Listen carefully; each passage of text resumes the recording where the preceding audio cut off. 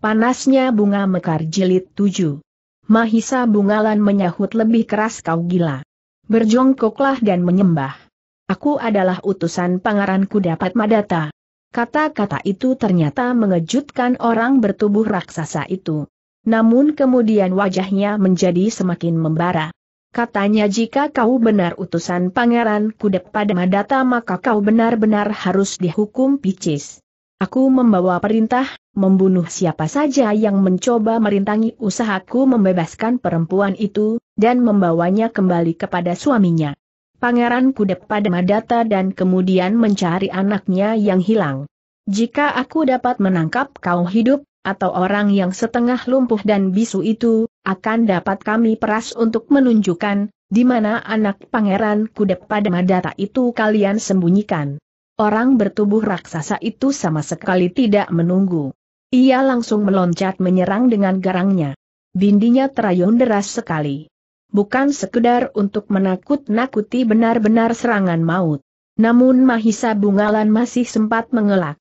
Bahkan kemudian meloncat maju dengan pedang terjulur lurus mengarah ke dada lawannya.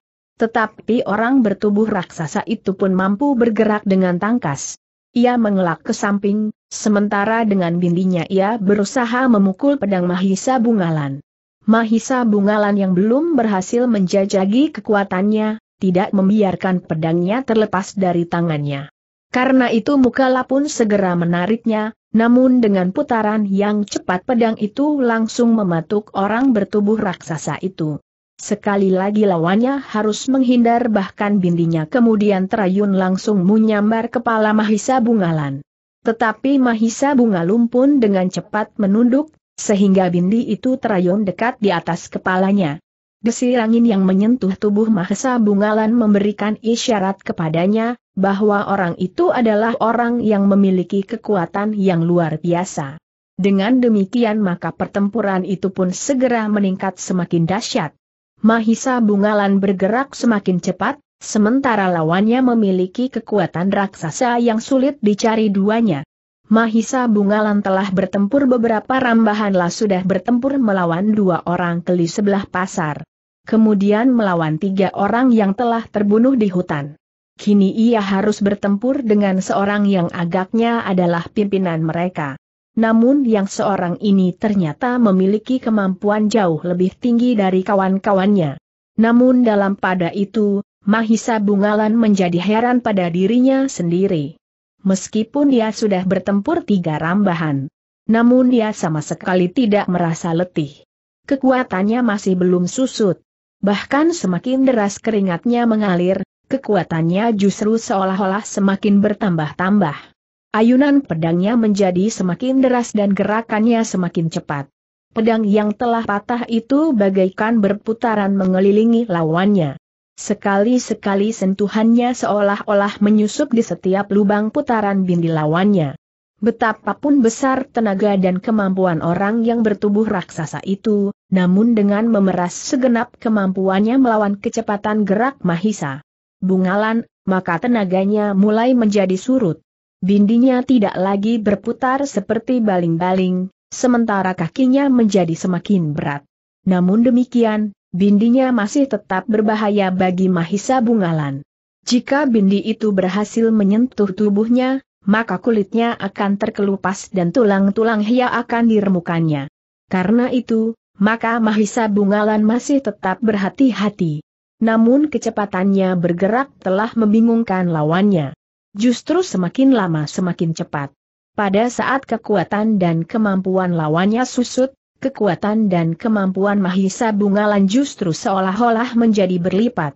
Karena itulah, maka orang bertubuh raksasa itu mulai merasa terdesak. Menyerahlah berkata Mahisa Bungalan katakan di mana anak laki-laki pangeran dapat madata. Katakan siapa yang menyuruhmu melakukan pengkhianatan itu. Katakan untuk apa semuanya itu kau lakukan, dan berapa kau mendapat upah. Pertanyaan itu benar-benar menyakitkan hati. Hampir berteriak orang itu menjawab persetan kaulah yang harus menyerah agar aku tidak akan membunuhmu dengan perlahan-lahan. Jangan sebui lagi. Kata-kata itu merangsang aku untuk melakukannya. Jika kau berulang kali mengatakannya, kenapa aku benar-benar akan menangkapmu hidup dan menghukum Picis sampai mati. Mungkin kau akan mati dalam tiga hari, tetapi mungkin lebih. Persetan orang itu menggeram. Namun terasa bulu tangkupnya meremang, lah sudah menyadari, bahwa ia mulai terdesak. Karena itu, jika benar-benar seperti yang dikatakan oleh orang itu, maka alangkah tersiksanya mati perlahan-lahan. Karena itu, maka orang bertubuh raksasa yang tidak mengenal siapa sebenarnya lawannya itu pun mulai membuat perhitungan. Lebih baik baginya untuk mati bertempur daripada mati perlahan-lahan. Perhitungan itulah yang tidak disadari Mahisa Bungalanlah tidak sengaja mendesak orang itu untuk memilih matilah hanya ingin memaksa lawannya untuk menyerah. Namun agaknya yang terjadi adalah berbeda dengan yang diharapkannya. Orang bertubuh raksasa itu benar-benar telah bertempur dengan mengerahkan segenap tenakna dan kemampuannya. Mahisa Bungalan merasakan betapa orang itu menghentak-hentak dengan sepenuh tenaganya. Namun dengan demikian, Mahisa Bungalan merasa, bahwa kekuatannya sudah menjadi semakin susut. Jangan kau paksa dirimu berkata Mahisa Bungalan. Persetan orang itu berteriak jangan banyak bicara. Aku akan membunuhmu dan mencincangmu sampai lumat. Jangan kau bohongi dirimu sendiri. Tenagamu mulai susut. Menyerahlah. Aku hanya memerlukan keterangan-keterangan itu. Orang bertubuh raksasa itu tidak menghiraukannya. Namun dengan demikian, untuk mengimbangi kemampuannya yang mulai susut, maka ia pun bertempur semakin liar dan buas. Perhitungannya menjudi semakin kabur bahkan kadang-kadang orang bertubuh raksasa itu telah kehilangan pengendalian dan perhitungan nalar. Dengan demikian, maka Mahisa Bungalan justru menjadi semakin berhati-hati. Orang yang menjadi liar itu dapat berbuat apa saja di luar perhitungan. Namun, Mahisa Bungalan membiarkannya menjadi semakin letih. Bahkan kemudian orang itu mulai terseret oleh ayunan bindinya yang berat itu, ia terhuyung-huyung beberapa langkah. Dalam keadaan yang demikian, maka Mahisa Bungalan akan dengan mudah menghunjamkan pedangnya yang patah. Namun ia tidak melakukannya, lah memang ingin menangkap orang itu hidup-hidup. Kemudian menanyakan beberapa hal kepadanya tentang Pangeran Kudapat Madata. Perlahan-lahan namun pasti orang bertubuh raksasa itu akan kehilangan kekuatannya. Sekali-sekali ia kehilangan keseimbangan.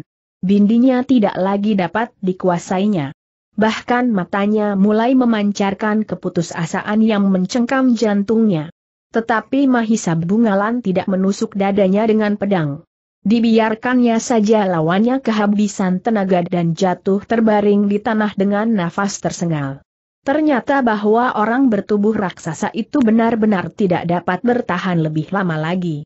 Ketika ia mengayunkan bindinya memukul kepala Mahisa Bungalan, maka justru orang itu sendiri terbanting jatuh di tanah.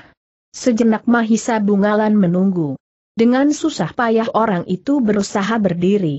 Namun ketika ia berhasil tegak, maka pedang Mahisa Bungalan telah melekat di punggungnya. Apakah kau benar-benar tidak ingin hidup lagi bertanya Mahisa Bungalan? Betapapun beraninya orang bertubuh raksasa itu, dan betapapun kuat pertimbangannya untuk memilih mati daripada hidup untuk mengalami siksaan, namun ketika terasa pedang lawan melekat di punggung, ternyata bahwa ia pun tidak berani bergerak dan berbuat sesuatu.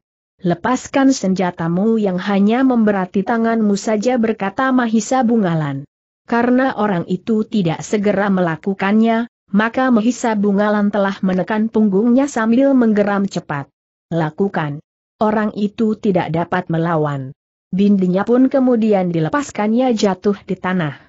Demikian bindinya terlepas, maka Mahisa Bunga Lampun kemudian mendorongnya sehingga orang itu jatuh tertelungkup. Dengan suara tertahan ia berdesah. Duduklah perintah Mahisa Bungalan. Orang itu pun kemudian duduk di tanah dengan nafas tengah-engah. Jawablah pertanyaanku berkata Mahisa Bungalan. Orang itu termangu-mangu sejenak. Apakah hubunganmu dengan Pangeran Kudep pada Madata bertanya Mahisa Bungalan. Orang itu mengerutkan keningnya. Sejenak ia termangu-mangu. Namun ia tidak menjawab. jawablah. Meskipun aku tidak tergesa-gesa. Tetapi semakin cepat agaknya semakin baik. Orang itu membetulkan letak duduknya. Namun sebenarnya lah ia justru mencoba beristirahat untuk memperbaiki pernafasannya.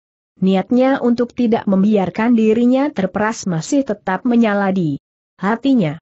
Bahkan ketika nafasnya mulai teratur maka keberaniannya telah tumbuh lagi di dalam jantungnya.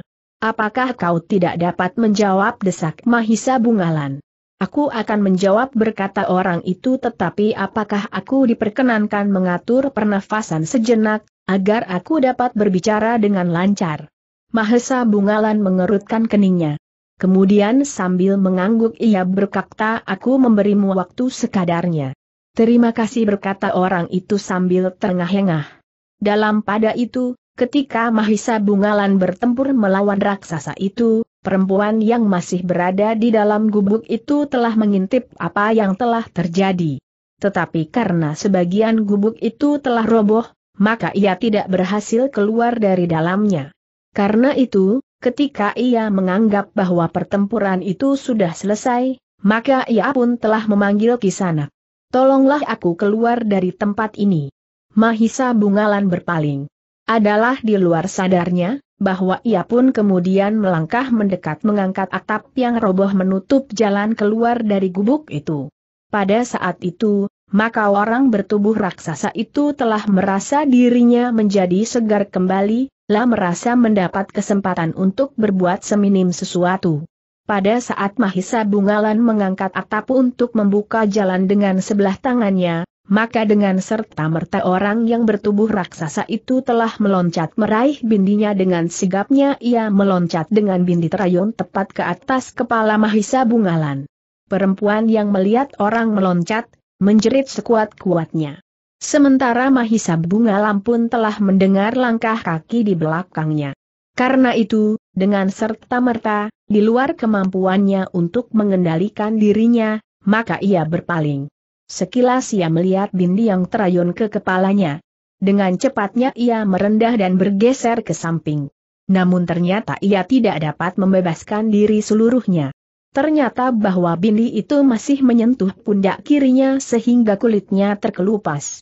Pada saat itulah, maka pertimbangannya bagaikan menjadi pepat. Yang dikerjakan kemudian adalah sebelah tangannya yang masih menggenggam pedang itu pun terjulur lurus ke depan yang terdengar adalah teriakan tertahan. Pedang Mahisa Bungalan yang patah ujungnya itu tiba-tiba saja telah menghunjam ke perut orang bertubuh raksasa itu. Mahisa Bungalan terhentak sesaat.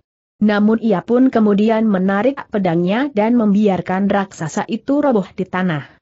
Mati. Sejenak Mahisa Bungalan termangu-mangu. Kematiannya itu terlalu cepat terjadi. Sebenarnya ia tidak ingin membunuh orang itu. Jika memungkinkan, orang itu akan dibawanya kepada kakek tua yang sedang melindungi cucunya itu. Jika ia sependapat, maka orang itu akan dihadapkannya kepada Pangeran Kudapat Madata. Biarlah ia memberikan keterangan kepada pangeran itu tentang istri dan anaknya yang hilang dan memberitahukan kepadanya, siapakah yang telah berkhianat. Tetapi orang itu telah mati. Sejenak Mahisa Bungalan termangu-mangu ia masih mempunyai dua orang yang hidup di antara mereka. Seorang yang dibuatnya hampir lumpuh dan bisu. Ia dapat menyembuhkannya dan kemudian memaksa orang itu untuk terbicara. Tetapi yang diketahuinya tentu sangat terbatas berkata Mahisa Bungalan di dalam hati, yang paling banyak mengetahui tentu orang bertubuh raksasa yang terbunuh itu. Namun Mahisa Bungalan tidak dapat terlalu lama merenung. Ia pun segera berusaha menolong perempuan yang terkurung itu. Ketika perempuan itu berhasil keluar dari gubuk yang sebagian telah runtuh itu, maka kecurigaannya terhadap Mahisa Bunga Lampun menjadi semakin berkurang, lah sudah melihat, bagaimana Mahisa Bungalan telah bertempur mempertaruhkan nyawanya melawan raksasa yang telah menyekapnya di dalam gubuk itu. Marilah berkata Mahisa Bungalan sebelum hal ini mempunyai akibat yang tidak kita kehendaki. Ikutlah hukum. Apakah benar kisanak utusan Pangeran Kudep pada Madata bertanya perempuan itu? Dengan tidak langsung memang demikian, Tetapi marilah kita meninggalkan tempat ini. Mungkin ada satu dua orang yang tidak senang melihat peristiwa ini dan melaporkan kepada orang yang tidak kita kehendaki. Aku tidak melihat orang lain kecuali raksasa itu dengan kelompoknya jawab perempuan itu. Siapa tahu di bagian hutan yang lain.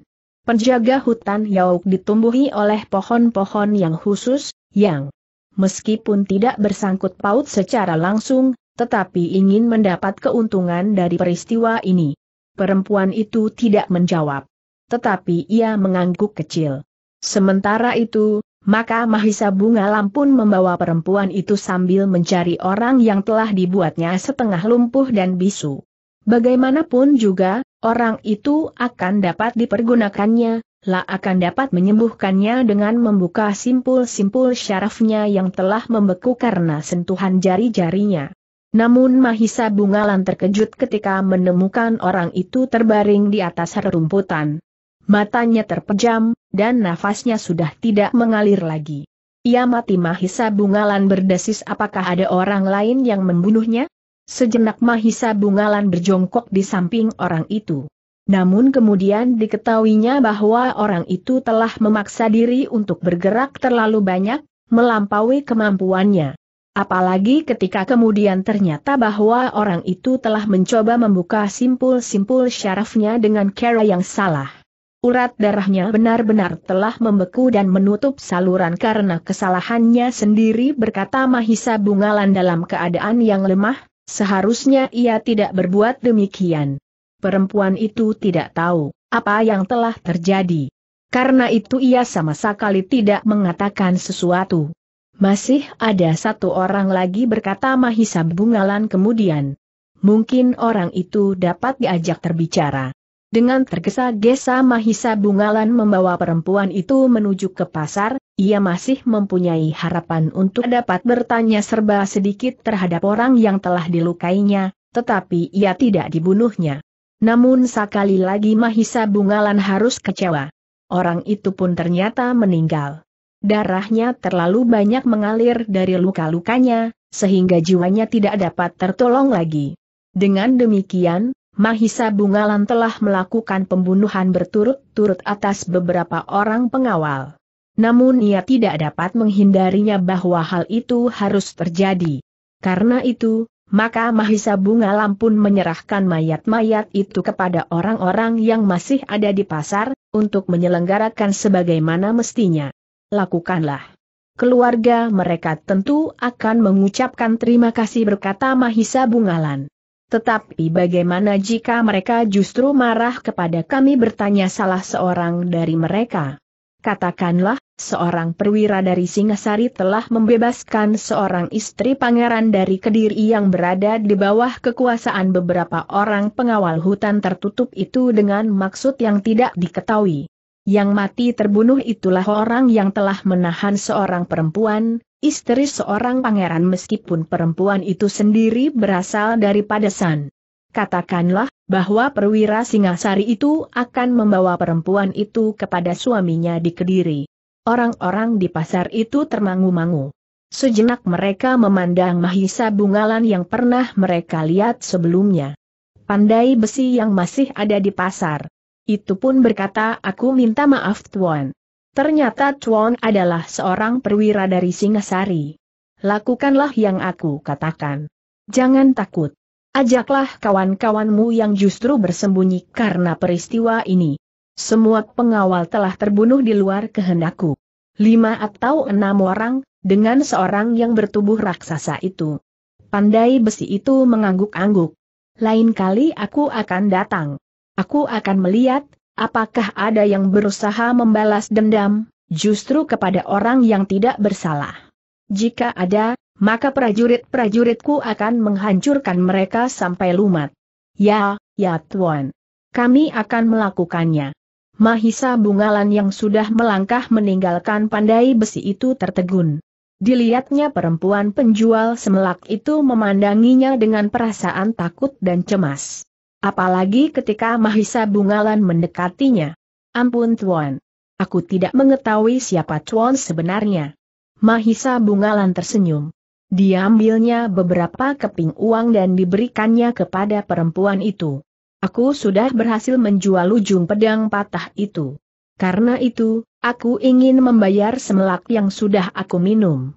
Tetapi ini terlalu banyak, Tuan berkata perempuan itu. Mahisa Bungalan hanya tertawa saja. Kemudian dia ajaknya istri Pangeran Kudep pada Madata itu meninggalkan pasar itu dengan langkah yang semakin lama semakin cepat. Kita ke mana bertanya perempuan itu. Mahisa Bungalan menarik nafas dalam-dalam. Untuk sejenak ia ragu-ragu. Namun kemudian ia berkata aku akan pergi ke rumah seseorang kakek tua yang dengan penuh tanggung jawab melindungi cucunya yang dalam ancaman maut. Maksudmu ayahku bertanya perempuan itu. Ya. Ki Wastu perempuan itu berusaha meyakinkan dirinya. Agaknya namanya memang demikian. Tetapi aku memanggilnya kakek saja. Ayah. Tentu ayah. Apakah anak laki-lakiku masih hidup? Lah berada di bawah perlindungan kakeknya. Perempuan itu menarik nafas dalam-dalam. Desisnya. Tuhan yang Maha Kuasalah yang melindungi anakku. Kau akan menemuinya di padukuhan yang agak jauh. Kita akan berjalan panjang. Mahisa Bungalan yang berjalan bersama perempuan itu, harus bermalam di perjalanan. Namun di malam berikutnya Mahisa Bungalan tidak ingin berhenti lagi di perjalanan. Meskipun perlahan-lahan tetapi keduanya berjalan terus. Betapa lelahnya perempuan itu. Sekali-sekali ia berhenti untuk beristirahat.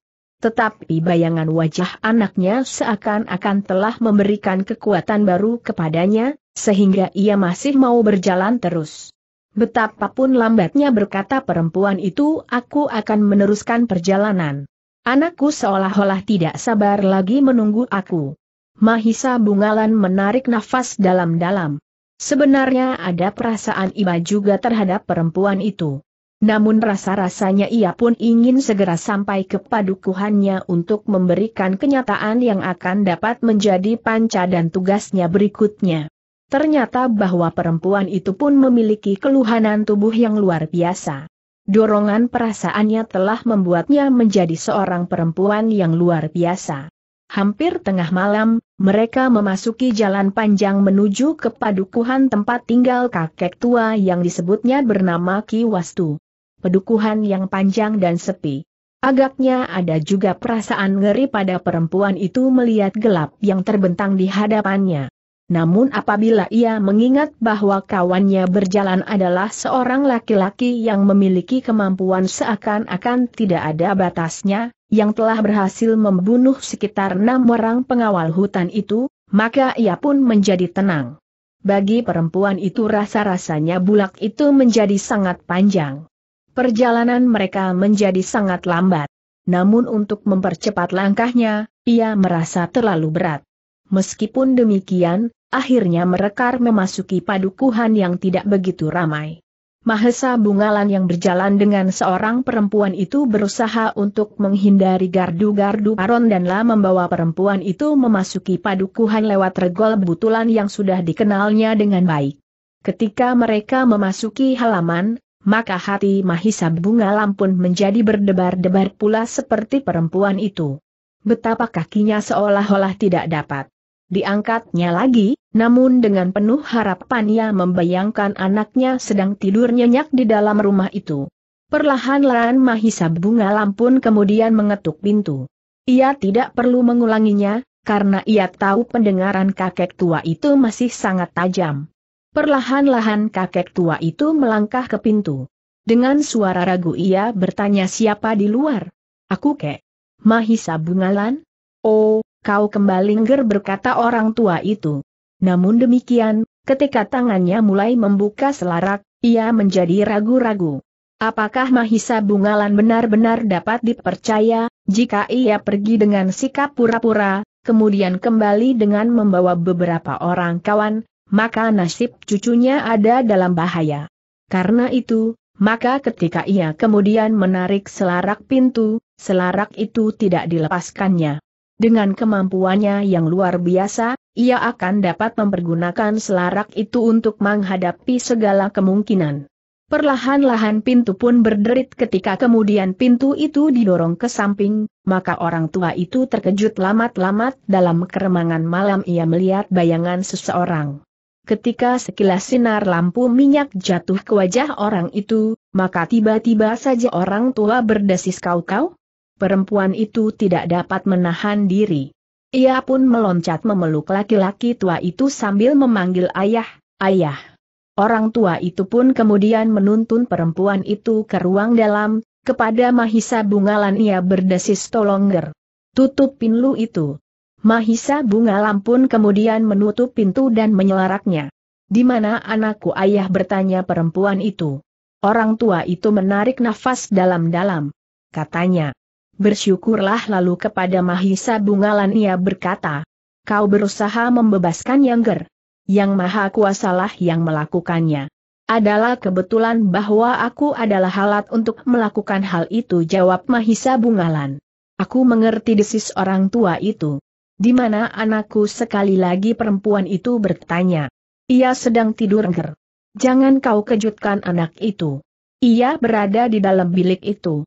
Perempuan itu termangu-mangu, terasa matanya menjadi panas, sementara air matanya mengalir semakin deras. Sejenak perempuan itu masih mematung. Namun ia pun kemudian melangkah ke pintu bilik. Ia mencoba menahan hati sekuat-kuatnya. Namun ketika ia melihat ke dalam bilik itu lewat pintu yang terbuka, maka ia tidak berhasil menahan perasaannya lagi. Sambil berlari meledaklah tangisnya. Dengan serta-merta ia telah memeluk anaknya yang sedang tidur nyenyak. Anak itu terkejut. Ketika ia menyadari dirinya, ia merasa berada di dalam pelukan seseorang. Ia merasa titik-titik air yang hangat meleleh di wajahnya. Baru kemudian ia mengerti, bahwa ia telah berada di dalam pelukan ibunya. Ibu hanya kata-kata itu yang dapat meloncat dari mulutnya, karena ia pun telah menangis seperti ibunya. Kakek tua itu pun berdiri tegak di luar pintu. Bagaimanapun juga ia merasa tenggorokannya bagaikan tersumbat. Mahisa Bungalan duduk di amben bambu. Ia tidak melihat apa yang terjadi di dalam bilik itu. Tetapi ia dapat membayangkan, betapa rindunya seorang ibu yang terpisah dengan anaknya karena keadaan yang gawat, dan bahkan telah mengancam jiwa mereka masing-masing. Kakek tua itu pun kemudian meninggalkan anak dan cucunya di dalam biliknya.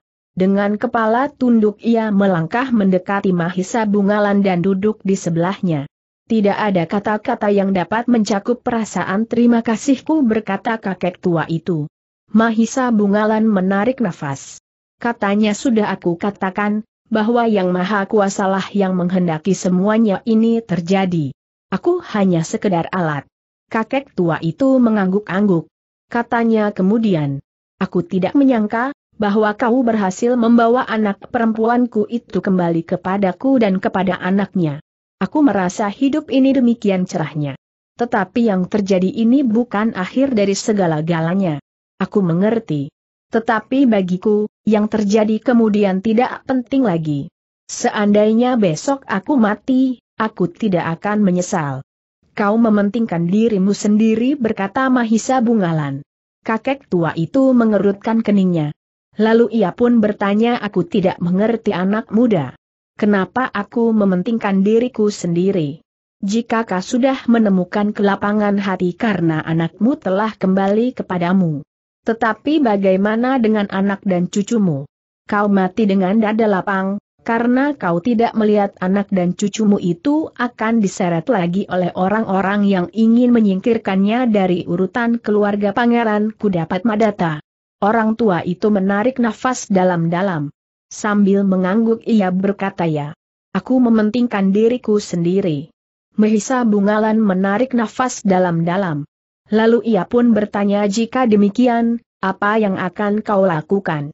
Menjaga anak dan cucuku. Mahisa Bungalan mengangguk-angguk. Katanya itulah yang penting bagimu kek. Bukankah kau sudah berniat untuk membawa anakmu sampai kepada suaminya dengan membawa anaknya serta? Orang tua itu mengangguk-angguk. Jawabnya ya.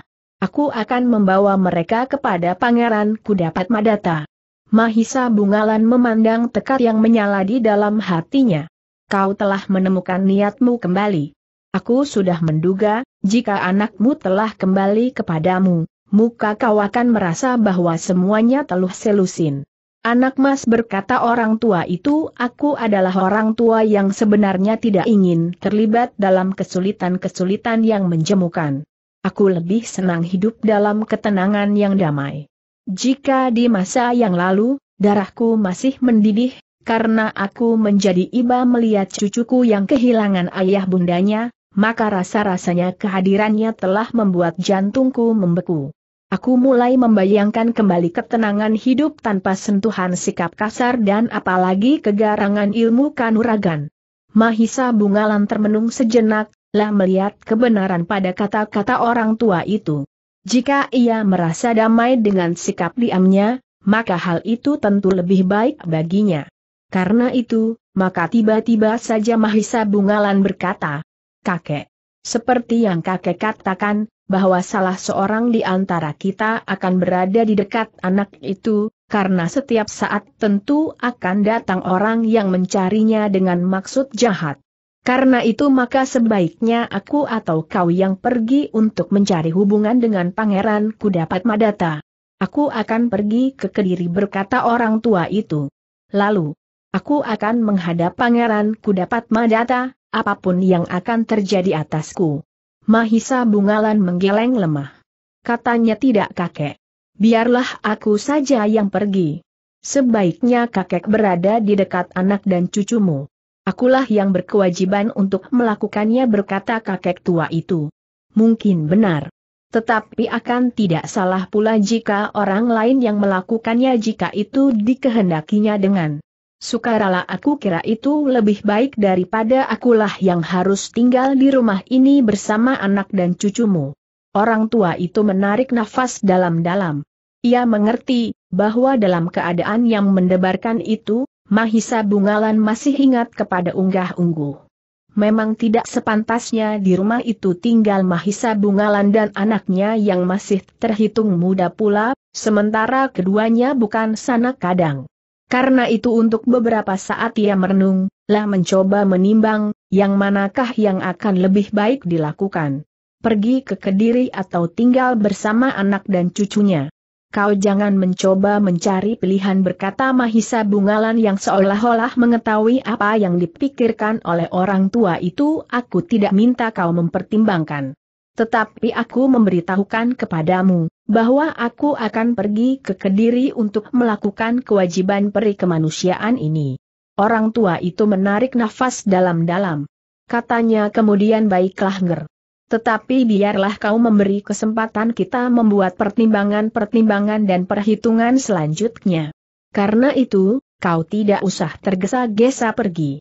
Mungkin kita memerlukan waktu dua tiga hari untuk memecahkan beberapa masalah tentang diri anakku dan cucuku. Sepanjang waktu itu, maka nyala api di dalam dadamu yang sudah mulai buram itu akan padam berkata Mahisa Bungalan. Tidak angger. Meskipun aku cenderung untuk melupakan segala-galanya dengan membangunkan ketenangan hidup bagiku dan anak cucuku. Namun masalah ini memang harus diselesaikan dengan pangeran kudapat Madata. Namun untuk melakukannya kita tidak akan dapat tergesa-gesa. Mungkin ada persoalan yang dapat kita perhitungkan dan pertimbangkan sebelum kau berangkat ke Kediri untuk mencari pangeran kudapat Madata itu. Mahisa Bungalan termangu-mangu sejenak. Namun kemudian katanya baiklah kek. Sudah tentu kita tidak dapat melakukannya dengan tergesa-gesa. Syukurlah nger. Kita akan membuat beberapa pembicaraan. Aku juga ingin mendengar keterangan dan pendapat anak perempuanku tentang suaminya itu. Mahisa Bungalan mengangguk-angguk. Sudah barang tentu pendapat anak perempuan orang tua itu tidak akan dapat diabaikan. Karena itu, maka orang tua itu pun mempersilahkan Mahisa Bungalan untuk beristirahat. Tetapi agaknya Mahisa Bungalan lebih senang berada di luar ruangan dalam rumah itu. Karena itu atas izin orang tua itu. Mahisa Bungalan pun beristirahat pada sisa malam yang pendek itu di sanggarnya yang tertutup. Beberapa saat Mahisa Bungalan masih tenggelam dalam angan-angannya. Namun kemudian matanya pun mulai terpejam oleh kantuk yang jarang dipergunakan itu. Ketika ia terbangun, rumah itu masih sepi. Tetapi ia sudah mendengar desir langkah kaki di belakang. Dengan demikian maka Mahisa Bunga Lampun mengetahui bahwa orang tua itu pun telah bangun dan berada di halaman belakang. Mahisa Bungalan yang kemudian membuka pintu dan melangkah keluar melihat orang tua itu menuju ke pakiwan mengambil timba yang terbuat dari upih, mengetrapkan pada senggot dan sejenak kemudian terdengar senggot itu berderit. Mahisa Bunga Lampun kemudian pergi ke sudut rumah mengambil sapu lidi. Seperti biasanya, ia pun kemudian membersihkan halaman rumah itu. Pekerjaan itu dilakukannya dengan telaten sejak ia tinggal pada kakek tua itu. Bahkan kadang-kadang ia pun menimba air, mengisi pakiwan dan jambangan di dapur apabila kakek tua itu sedang melakukan pekerjaan yang lain. Namun kadang-kadang Mahisab Bunga Lampun membelah kayu bakar dengan kapak atau kerja lain yang tidak pernah disisihkannya. Tetapi sejak hari itu rumah kakek tua itu mempunyai seorang penghuni baru. Seorang perempuan yang kurus dan pucat. Namun ketika Mahisa Bungalan melihat wajahnya di siang hari dalam keadaan yang jauh berbeda dengan keadaan di dalam gubuk di pinggir hutan itu, maka Mahisa Bungalan pun berkata kepada diri sendiri perempuan itu memang cantik. Itulah agaknya Pangeran Kudep pada Madata jatuh cinta kepadanya meskipun ia hanya seorang perempuan padesan. Namun dalam pada itu, kematian yang ditinggalkan oleh Mahisa Bungalan di hutan itu, telah menumbuhkan kesulitan bagi beberapa orang penghuni padukuhan di sekitarnya. Juga orang-orang yang biasa berada di dalam pasar termasuk pandai besi itu. Tetapi mereka tidak mengalami bencana yang parah karena menilik sikap dan kata-kata mereka, orang-orang itu memang tidak mengetahui apakah yang telah terjadi. Ternyata seorang penghubung telah datang ke gubuk itu dan menemukan keadaan yang mendebarkan penghubung itu sudah tidak menemukan mayat seseorang pun. Yang didengarnya adalah keterangan beberapa orang yang ikut mengubur beberapa sosok mayat yang ditinggalkan oleh Mahisa Bungalan. Tetapi orang-orang itu tidak dapat menceritakan dengan terang, siapakah Mahisa Bungalan itu, dan dibawa ke manakah perempuan yang disembunyikan di hutan itu. Kami harus mencarinya sampai ketemu geram penghubung itu. Laporan itu pun kemudian dibawanya kepada pemimpinnya. Seorang yang mendapat kepercayaan untuk melakukan segala cara untuk melenyapkan ibu dan anak laki-laki itu. Gila ia menggeram apa kerja kelinci-kelinci di hutan itu? Semuanya terbunuh jawab penghubung itu. Berapa orang yang datang ke hutan itu?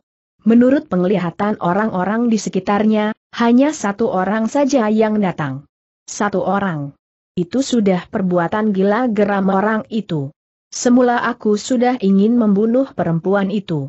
Tetapi pendapat bahwa perempuan itu akan dapat dijadikan umpan untuk menemukan anaknya, ternyata justru sebaliknya. Jika perempuan itu sudah mati, maka kita tidak usah menjaganya. Sekarang kita kehilangan orang itu. Jika kita tidak menemukannya, maka segala usaha dan korban ternyata sia-sia.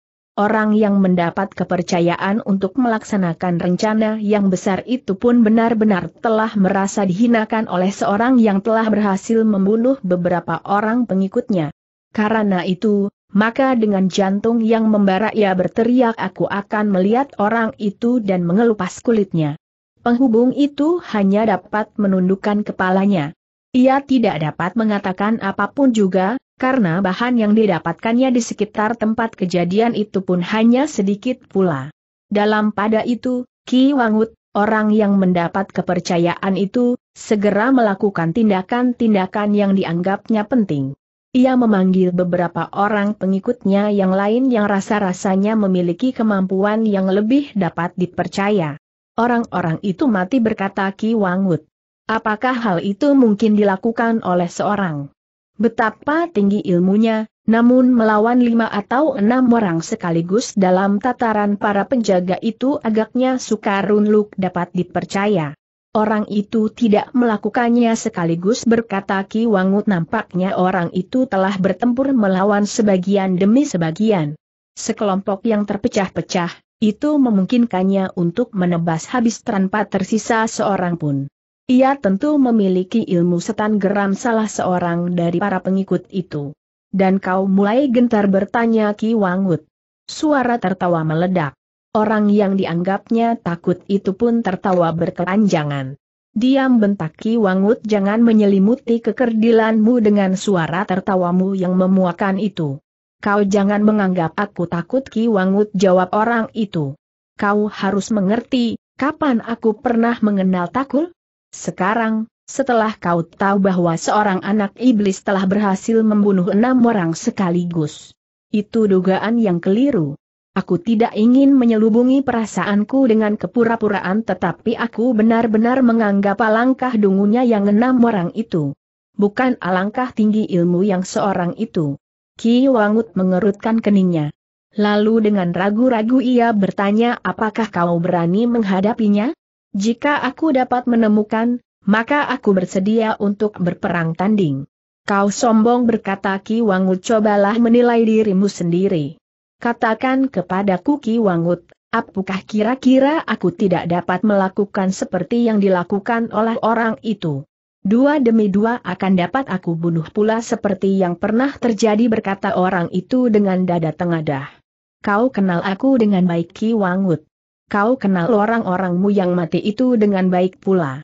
Karena itu, jangan kau rendahkan aku di hadapan orang lain. Ki Wangut mengerutkan keningnya. Namun kemudian katanya kau jangan berlagak di hadapanku. Seandainya aku membenarkan kata-katamu, itu bukan berarti bahwa aku mengharapkan keajaiban pada dirimu. Kau tidak lebih dari orang-orang terbunuh itu. Kelebihanmu hanyalah karena kau dapat berteriak sangat keras, sehingga suaramu dapat mengganggu orang lain yang mendengarnya. Tetapi bagi orang-orang mumpuni, maka perbuatan semacam itu hanya akan ditertawakan saja. Kau benar tidak percaya akan kemampuanku Ki Wangut. Apakah aku harus menunjukkan untuk mempertuhankan harga diriku? Aku akan dapat mempergunakan segala jenis senjata dengan baik. Ilmu pedangku mumpuni. Ilmu tombakku tidak ada duanya di daerah ini. Sementara aku dapat mempergunakan senjata apa pun juga. Kapak, linggis, bahkan cambuk dan tampar. Apakah aku harus menunjukkan bahwa dengan tanganku aku dapat menghantam batu karang? Aku percaya bahwa kau dapat menghantam batu karang. Semua orang yang tangannya tidak cacat akan dapat melakukannya, tetapi apakah yang akan terjadi atas karang itu? Aku dapat memecahkannya teriak erang itu. Itulah yang masih harus diuji. Wajah orang itu menjadi merah. Namun kemudian katanya aku akan pergi. Aku akan mencari perempuan itu sampai dapat. Kau menjadi gila. Kau tidak dapat melakukannya tanpa perhitungan yang mapan. Orang itu termangu-mangu sejenak. Namun sorot matanya yang menyala, seolah-olah tidak lagi dapat dikendalikan. Harga dirinya benar-benar telah tersinggung tetapi ia tidak berani berbuat apa-apa terhadap Ki Wangut itu sendiri, karena ia tahu betapa tingginya ilmu orang yang bernama Ki Wangut itu.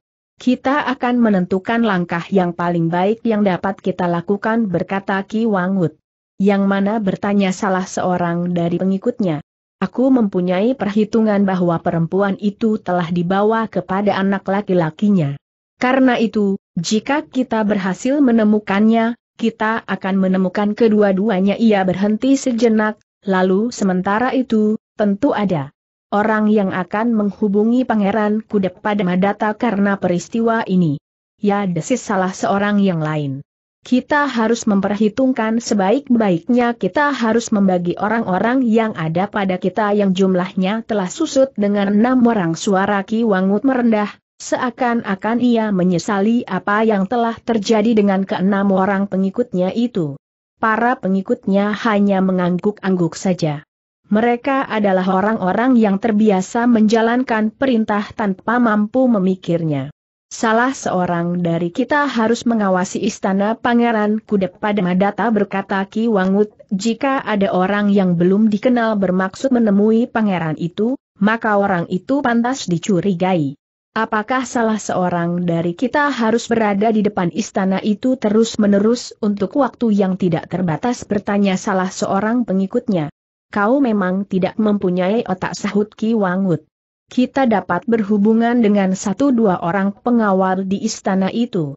Kita mengenal beberapa orang di antara mereka. Kita dapat memberi mereka sekedar uang. Sementara salah seorang dari kita minta untuk berada di dalam pondoknya di halaman belakang istana itu. Salah seorang dari kita akan mengaku anak keluarganya dan tinggal di rumahnya untuk waktu yang tidak ditentukan, karena orang yang akan tinggal itu mengaku berasal dari jauh. Pengikutnya mengangguk-angguk. Mereka memang mengetahui bahwa beberapa orang di istana Pangeran Padamadata akan dapat diajaknya bekerja bersama. Sementara itu, beberapa orang yang lain mencari perempuan itu ke segala sudut tanah ini. Jika perempuan itu dapat diketemukan, maka tidak ada ampun lagi baginya bunuh saja bersama anak laki-lakinya dan orang-orang yang berusaha melindunginya. Para pengikutnya mengangguk-angguk. Kematiannya akan mendatangkan hadiah yang besar, karena pekerjaan ini juga merupakan taruhan yang sangat besar Ki Wangut, kemudian jangan terlalu banyak pertimbangan seperti yang sudah. Akhirnya kita kehilangan sebagian dari hasil yang pernah kita peroleh. Siapakah yang akan pergi ke istana Pangeran Kudep pada Madata bertanya salah seorang dari mereka. Aku sendiri berkata Ki Wangut aku akan menunggu orang asing yang akan datang ke istana itu. Aku tidak boleh memberi kesempatan kepadanya untuk berbicara. Karena itu aku harus sanggup membungkamnya. Mungkin orang itu benar-benar seorang pesuruh yang tidak memiliki kemampuan apa pun selain karena ia mengetahui letak istana itu. Tetapi mungkin pula yang datang itu adalah orang yang telah membunuh enam orang sekaligus di hutan peliharaan itu. Para pengikutnya hanya mengangguk-angguk saja. Nah, kita akan berangkat ke tugas kita masing-masing. Empat orang akan mencari perempuan itu. Sementara kalian akan dapat mencari bekal bagi hidup kalian di perjalanan di sepanjang jalan pula. Para pengikutnya mengangguk-angguk. Mereka mengerti maksud Ki Wangut selain mencari perempuan dan anaknya, maka mereka akan mencari makan dengan care apa pun juga. Ki Wangut pun kemudian menunjuk empat orang yang dianggapnya memiliki kemampuan yang cukup untuk mencari perempuan dan anaknya, yang harus dibunuh di mana pun mereka diketemukan. Namun demikian ia berpesan kepada pengikutnya yang lain kalian kali ini dapat beristirahat. Tetapi pada suatu saat, kalian akan mendapat tugas pula. Meskipun demikian dalam setiap kesempatan kalian harus membantu kawan-kawanmu yang lain. Bahkan jika sengaja atau tidak sengaja kalian menemukan perempuan itu, maka kalian pun mempunyai kewajiban yang sama. Membunuh mereka tanpa ampun. Keempat orang yang memang pernah melihat perempuan yang pernah disekap itu pun kemudian minta diri. Mereka akan mulai dengan tugas mereka. Tugas yang waktunya tidak dapat ditentukan. Mungkin dalam waktu pendek. Tetapi mungkin mereka memerlukan waktu yang sangat lama. Sementara itu, maka Ki Wangut pun segera mempersiapkan dirinya pula. Ia harus segera pergi ke istana Pangeran Kudep pada Madata dan berada di istana itu untuk beberapa saat lamanya. Dalam pada itu, Mahisa Bungalan yang berada di rumah Ki Wastu sudah bersiap-siap untuk pergi ke Kediri. Tetapi ia masih menunggu sikap yang tegas dari anak perempuan Ki Wastu itu sendiri. Aku sudah melupakannya berkata perempuan itu. Lebih baik kita tidak membuat hubungan apa pun lagi dengan Pangeran Kudapat Madata. Hal itu hanya akan menyakitkan hatiku saja. Ki Wastu menarik nafas dalam-dalam. Sebenarnya ia pun sependapat dengan anak perempuannya. Namun dalam pada itu Mahisa Bungalan berkata kek. Mungkin kakek dan anak perempuan kakek itu dapat menerima keadaan ini mungkin kalian tidak lagi memerlukan pertimbangan-pertimbangan lain dalam hidup kalian kemudian. Tetapi kalian harus ingat, bahwa ada orang-orang yang masih akan mencari kalian dengan maksud yang sangat jahat apakah dengan demikian kalian akan dapat merasa tenang. Mungkin dalam waktu satu dua pekan, mereka belum menemukan kalian. Tetapi usaha mereka tidak akan berhenti dalam satu dua pekan. Mereka usaha terus mencari. Mungkin dalam satu dua bulan. Bahkan mungkin terbilang tahun, mereka harus meyakinkan diri, bahwa tidak ada orang lain yang akan ikut serta memperhitungkan warisan pangeran yang kaya itu, meskipun hal ini barangkali tidak pernah terpikir oleh kalian. Ki Wastu hanya dapat menarik nafas dalam-dalam.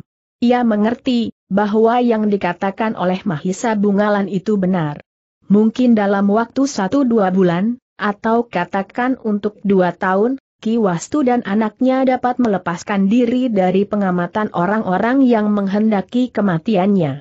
Namun jika pada suatu waktu orang itu dapat menemukannya, maka persoalannya tentu akan segera membakar ketenangan yang mereka dambakan. Aku kira, kau benar ger. Orang-orang itu tentu tidak akan melupakannya, selama mereka masih dicemaskan oleh kemungkinan halnya seorang putra laki-laki pangeran kudep pada Madata yang akan berhak atas warisan yang akan ditinggalkan, maka sekelompok orang akan merasa tidak tenang berkata Ki Wastu kemudian. Jadi, bagaimana menurut pertimbangan kakek bertanya Mahisa Bungalan? Orang tua itu menarik nafas dalam-dalam. Namun kemudian katanya baiklah anak mas. Kita akan mempertimbangkan sebaik-baiknya. Tetapi kita tidak perlu tergesa-gesa. Kita akan melihat perkembangan keadaan. Jika Angger tergesa-gesa pergi ke Kediri, mungkin di Kediri kini justru telah dipasang jebakan. Apa yang dapat mereka lakukan bertanya Mahisa Bungalan. Kemudian beberapa orang pengawal itu tentu akan membawa akibat mungkin kawan-kawan mereka mulai berpencaran mencari anak dan cucuku. Sebagian mungkin akan pergi ke Kediri, jika ada orang yang tidak dikenal pergi menghadap Pangeran Kudep pada Madata membawa seorang anak laki-laki atau seorang perempuan yang pernah mereka sembunyikan di hutan itu. Bahkan mungkin mereka telah mendapat perintah yang lebih garang lagi dari pemimpin mereka bunuh setiap orang yang mencurigakan. Seperti yang kau cemaskan, dapat saja tiba-tiba muncul sekelompok orang di padukuhan ini untuk berusaha merebut cucuku. Karena itu, kita tidak boleh merasa bahwa persoalannya telah selesai. Tetapi juga tidak tergesa-gesa bertindak. Kita masih mempunyai waktu. Mahisa Bungalan tidak menjawab. Ia sependapat dengan orang tua itu, bahwa segalanya harus dipertimbangkan sebaik-baiknya agar mereka tidak terjebak dalam suatu perangkap maut yang tidak dapat dihindari lagi. Karena itu, maka meskipun Mahisa Bungalan telah bersiap-siap, namun ia tidak segera berangkat. Ia masih tetap berada di padukuhan itu untuk beberapa hari. Bahkan ternyata Mahisa Bungalan dengan cermat mengawasi orang-orang yang datang atau lewat di padukuhan itu tidak mustahil bahwa yang lewat itu adalah kawan-kawan orang yang telah dibunuhnya. Bukan saja untuk mencari orang yang telah membunuh mereka, tetapi juga mencari perempuan yang telah dibebaskannya beserta anak laki-lakinya. Semua orang yang pernah melihat aku telah mati. Berkata Mahisa Bungalan. Jika ada orang yang mencari aku, mereka tentui sekedar mendapat kegambaran dari orang lain. Meskipun demikian Mahisa Bungalan tidak meninggalkan kewaspadaan. Demikian pula kakek tua yang menjaga cucunya itu, sehingga dengan demikian, maka Mahisa Bungalan dan kakek tua itu telah mengatur waktu agar mereka dapat bergantian berada di rumah. Jika kakek tua itu pergi ke tanah garapan yang dibukanya di padukuhan itu, maka Mahisa Bungalan berada di rumah dengan mengerjakan segala macam pekerjaan. Kadang-kadang ia membelah kayu dengan kapak. Namun kadang-kadang ia hanya menganyam perkakas mencari ikan yang dibuatnya dari bambu. Dengan telaten Mahisa Bungalan membuat icir dan bengkeng. Membuat kepis dan bahkan pernah ia mencoba membuat jala dari lawe. Namun ternyata untuk waktu yang cukup lama jalannya masih belum siap untuk dipakai di sungai yang tidak terlalu jauh. Namun kadang-kadang kegelisahannya hampir tidak dapat dikendalikannya lagi. Ia ingin lebih cepat bertemu dengan Pangeran Kudep pada Madata dan menyampaikan peristiwa yang pernah terjadi atas istri dan putranya. Namun ternyata bahwa Mahisa Bungalan benar-benar telah ingin menunda kepergiannya, ketika ia melihat dua Orang berkuda lewat di padukuhan itu, kebetulan saat ia berada di sawah. Kedua orang itu, meskipun tidak terlalu banyak menghiraukan keadaan di sekitarnya di padukuhan itu, namun ada semacam getaran di dalam jiwa Mahisa Bungalan yang memberitahukan kepadanya, bahwa sepantasnya ia mencurigai kedua orang itu. Mungkin keduanya adalah orang yang bernasib kurang baik, karena tiba-tiba saja aku telah mencurigainya. Tetapi tidak ada salahnya untuk berhati-hati berkata Mahisa Bungalan di dalam hatinya. Ternyata kedua orang yang kebetulan saja lewat di belak yang pendek, di sebelah tanah garapan Mahisa Bungalan dan kakek tua itu, tidak menghiraukannya. Mereka sekedar lewat saja memasuki padukuhan tempat kakek tua dan Mahisa Bungalan tinggal. Apa yang akan mereka kerjakan di padukuhan itu berkata Mahisa Bungalan di dalam hatinya. Namun karena kegelisahannya itu, maka ia pun kemudian memanggul cangkulnya dan segera kembali ke rumahnya, melalui regol, ia sudah tidak melihat kedua orang berkuda itu. Namun ia masih melihat tapak kaki kuda itu menyelusuri jalan padukuhan. Sejenak Mahisa Bungalan menjadi ragu-ragu. Namun ia pun kemudian mencoba menelusuri tapak kaki kuda itu. Tetapi langkahnya tertegun kelika seorang tetangga berkata kepadanya Hi, kamu akan pergi ke mana? Mahisa Bungalan ragu-ragu sejenak. Ia masih membawa cangkul. Tetapi ia telah berjalan di jalan yang menuju ke rumah kakek tua yang telah memeliharanya, sejak ia terluku parah. Dengan ragu-ragu Mahisa Bungalan menjawab, lihat, ada tapak kaki kuda. Orang itu mengerutkan keningnya. Katanya kenapa dengan lapak kaki kuda? Bukankah dengan demikian ternyata ada dua orang asing memasuki padukuhan ini? Kenapa dengan orang asing?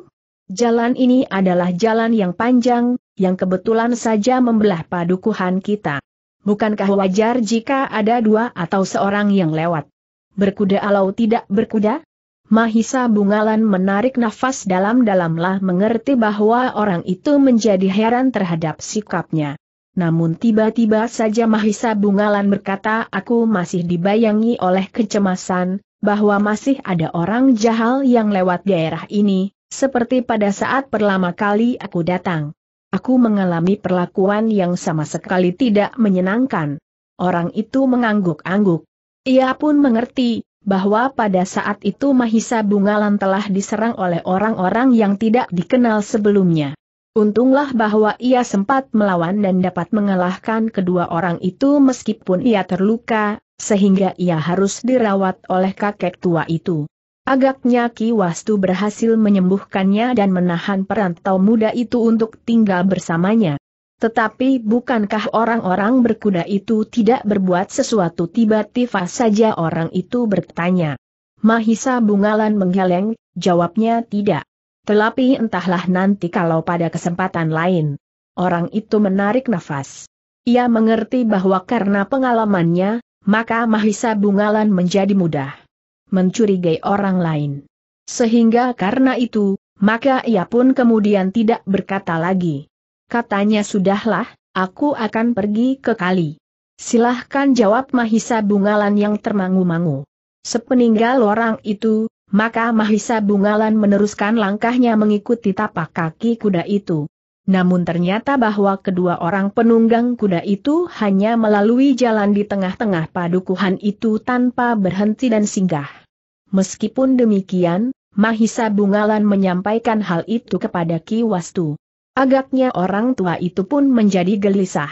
Meskipun belum ada tanda-tanda apa pun juga, namun karena kecemasan yang memang sudah ada di dalam hatinya, maka peristiwa-peristiwa yang belum pasti akan dengan mudah dapat menggetarkan jantungnya.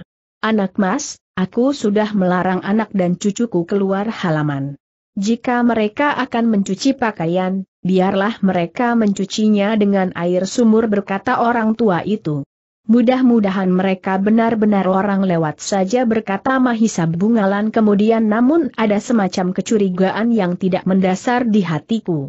Seseorang kadang-kadang dipengaruhi oleh perasaannya. Kadang-kadang seseorang mendapat firasat tentang sesuatu yang akan terjadi. Meskipun sekedar isyarat, namun jika kita dapat mengurainya, maka isyarat itu akan dapat memberikan petunjuk berkata Ki Wastu. Lalu tetapi kadang-kadang kita juga dipengaruhi oleh kecemasan di dalam diri kita sendiri, sehingga yang sebenarnya tidak ada apa-apa, membuat kita menjadi gelisah. Apa salahnya kita berhati-hati kakek jawab Mahisa Bungalan. Ya, kita memang harus berhati-hati. Namun dalam pada itu, Mahisa Bungalan menjadi lebih cemas lagi, ketika selang dua tiga hari, ia melihat lagi dua orang berkuda yang lewat. Mereka seolah-olah dua orang yang sedang menempuh perjalanan yang menyenangkan. Tidak tergesa-gesa dan sangat terlarik oleh keadaan di sekitarnya, jalan yang mereka lalui. Seperti beberapa saat lampau, ketika Mahisa Bungalan sedang berada di sawah, ia melihat dua orang berkuda menuju ke padukuhannya. Seperti yang pernah terjadi, ia pun kemudian segera pulang dan mengikuti telapak kaki kuda itu. Ia tidak berhenti sampai ke regol sebelah, tetapi ia menyelusuri beberapa puluh tonggak lagi.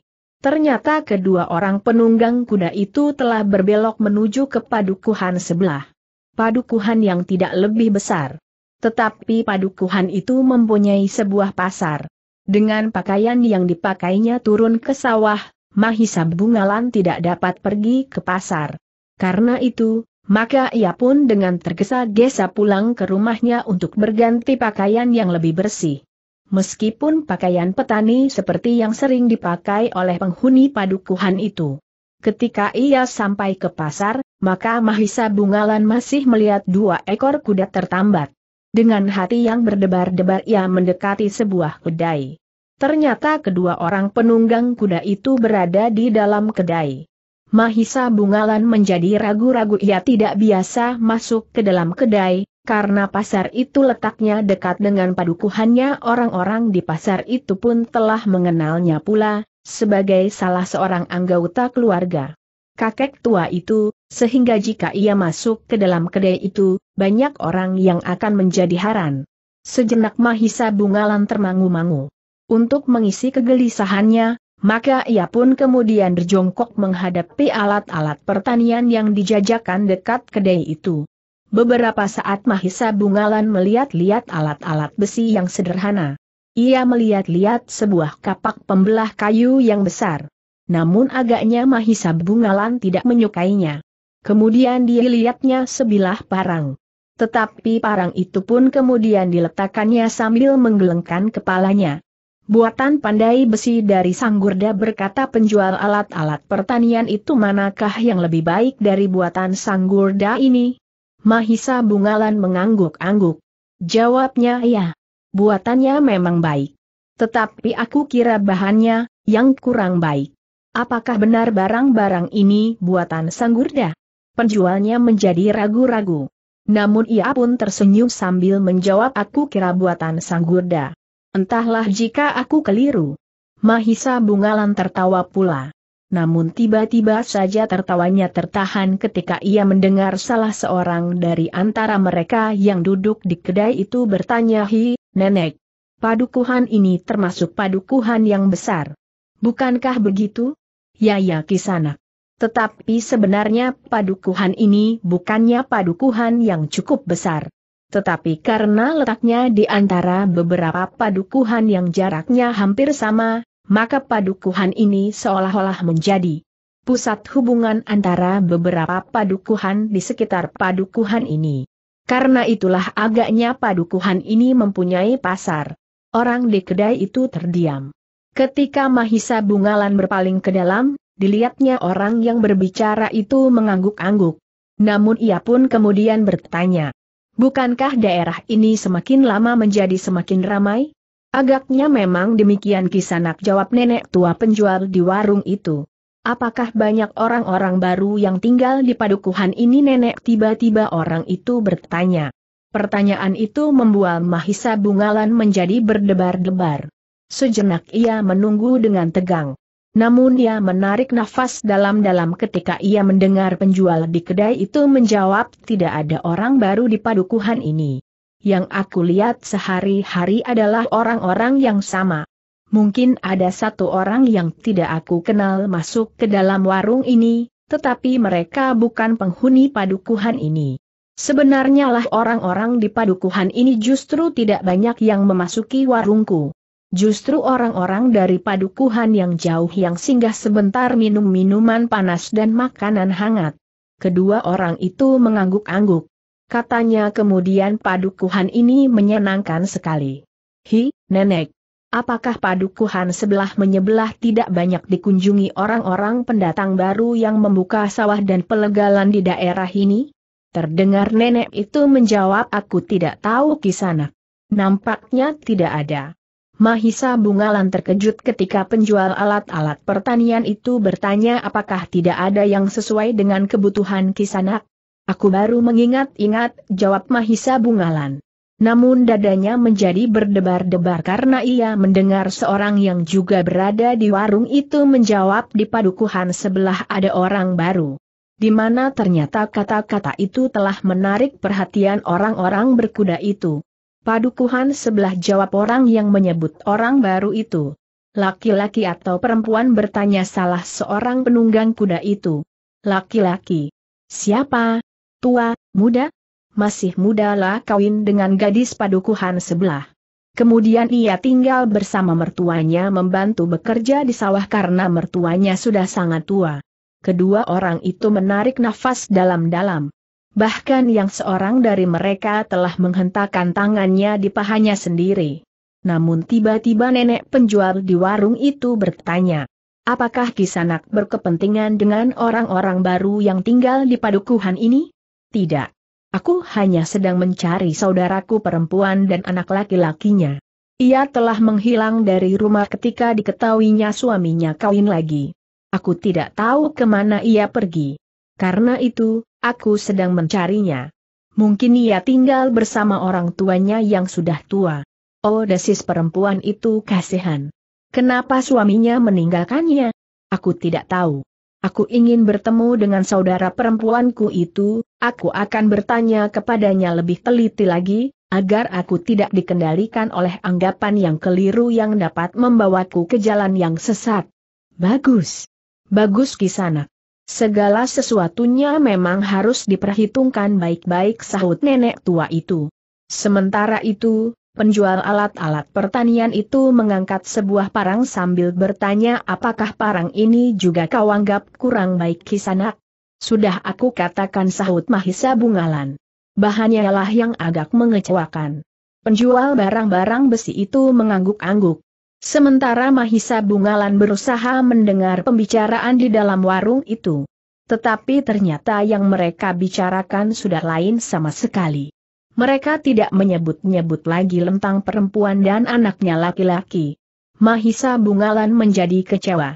Ia tidak mendengar percakapan terakhir antara kedua orang berkuda itu dengan nenek pemilik warung. Namun demikian, ia sudah menduga, bahwa kedua orang itu tentu ada hubungannya dengan hilangnya istri Pangeran Kuda pada Madata dari tempat pengasingannya. Ternyata bahwa kedua orang itu bertanya tentang seorang perempuan dan anak laki-lakinya. Dalam pada itu, Mahisa Bungalan masih mencoba untuk menunggu. Tetapi ia tidak mau terlibat lagi dengan pertanyaan-pertanyaan penjual alat-alat pertanian itu. Karena itulah maka ia pun kemudian berkata mudah. Mudahan lain kali kau membawa sesuatu yang sesuai dengan kebutuhanku berkata Mahisa Bungalan. Pilihanmu terlalu sulit desis penjual itu. Mahisa Bungalan tersenyum. Namun ia pun kemudian bergeser dan bersandar dinding warung itu. Katanya aku ingin beristirahat. Aku lelah sekali. Penjual barang-barang besi itu tidak menggapainya. Bahkan ia bergumam di dalam hatinya orang itu tentu tidak mempunyai uang. Sementara itu, orang di dalam warung itu benar-benar sudah tidak membicarakan lagi tentang perempuan dan anak laki-lakinya. Bahkan agaknya keduanya sudah membayar harga makanan dan minuman yang mereka beli. Kemudian keduanya berdiri dan minta diri. Namun pada saat itu, seorang lain yang juga berada di warung itu pun keluar bersama dengan keduanya adalah di luar dugaan Mahisa Bungalan, bahwa orang itu adalah tetangganya yang nampaknya baru saja menjual hasil kebunnya dan singgah di warung itu pula. Hi, Kau orang itu menyapa Mahisa Bungalan yang duduk bersandar dinding. Mahisa Bungalan hanya mengangguk saja sambil tersenyum. Ia tidak ingin menjawab, agar pembicaraannya tidak berkepanjangan. Tetapi orang itu justru berkata kepada kedua orang penunggang kuda orang itu juga orang baru di sini. Kedua orang penunggang kuda itu mengerutkan keningnya. Yang seorang kemudian bertanya sambil memandang Mahisa Bungalan apakah benar ia orang baru? Ya. Ia tinggal di rumah kakek tua di padukuhan sebelah. Bukan padukuhan ini. Sepadukuhan dengan aku. Kedua orang itu mengangguk-angguk. Tetapi agaknya ia tidak tertarik kepada Mahisa Bungalan yang duduk bersandar dinding. Tetapi keterangan orang itu kemudian bagaikan menyengat jantung Mahisa Bungalan. Kelika ia berkata, Bahkan kemudian ia telah disusul oleh saudara perempuannya yang kini tinggal bersamanya. Kedua orang penunggang kuda itu menegang sejenak. Namun yang seorang dari mereka berkata yang aku cari adalah saudara perempuanku, bukan saudara perempuan orang lain. Kawannya nampak ragu-ragu sejenak. Namun ketika yang berbicara itu kemudian melangkah ke kudanya, yang lain pun mengikutinya pula. Kita harus meyakinkan bahwa, apakah perempuan itu benar-benar perempuan yang kita cari. Kau bodoh desis yang lain kita tidak boleh tergesa-gesa. Kita harus yakin lebih dahulu sebelum kita bertindak.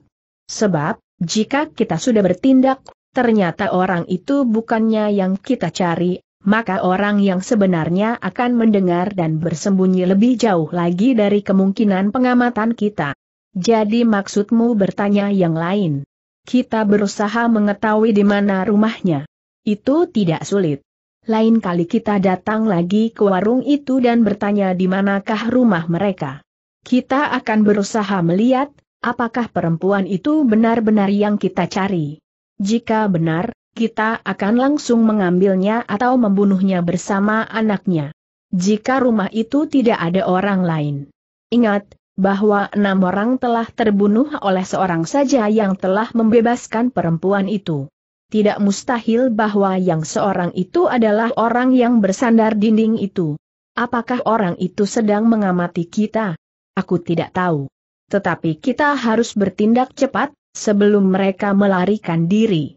Kedua orang berkuda itu pun segera memacu kudanya kembali ke tempat mereka tinggal untuk sementara bersama kawan-kawannya yang lain mereka akan segera melakukan pengamatan atas seorang perempuan yang telah disebut di luar warung itu.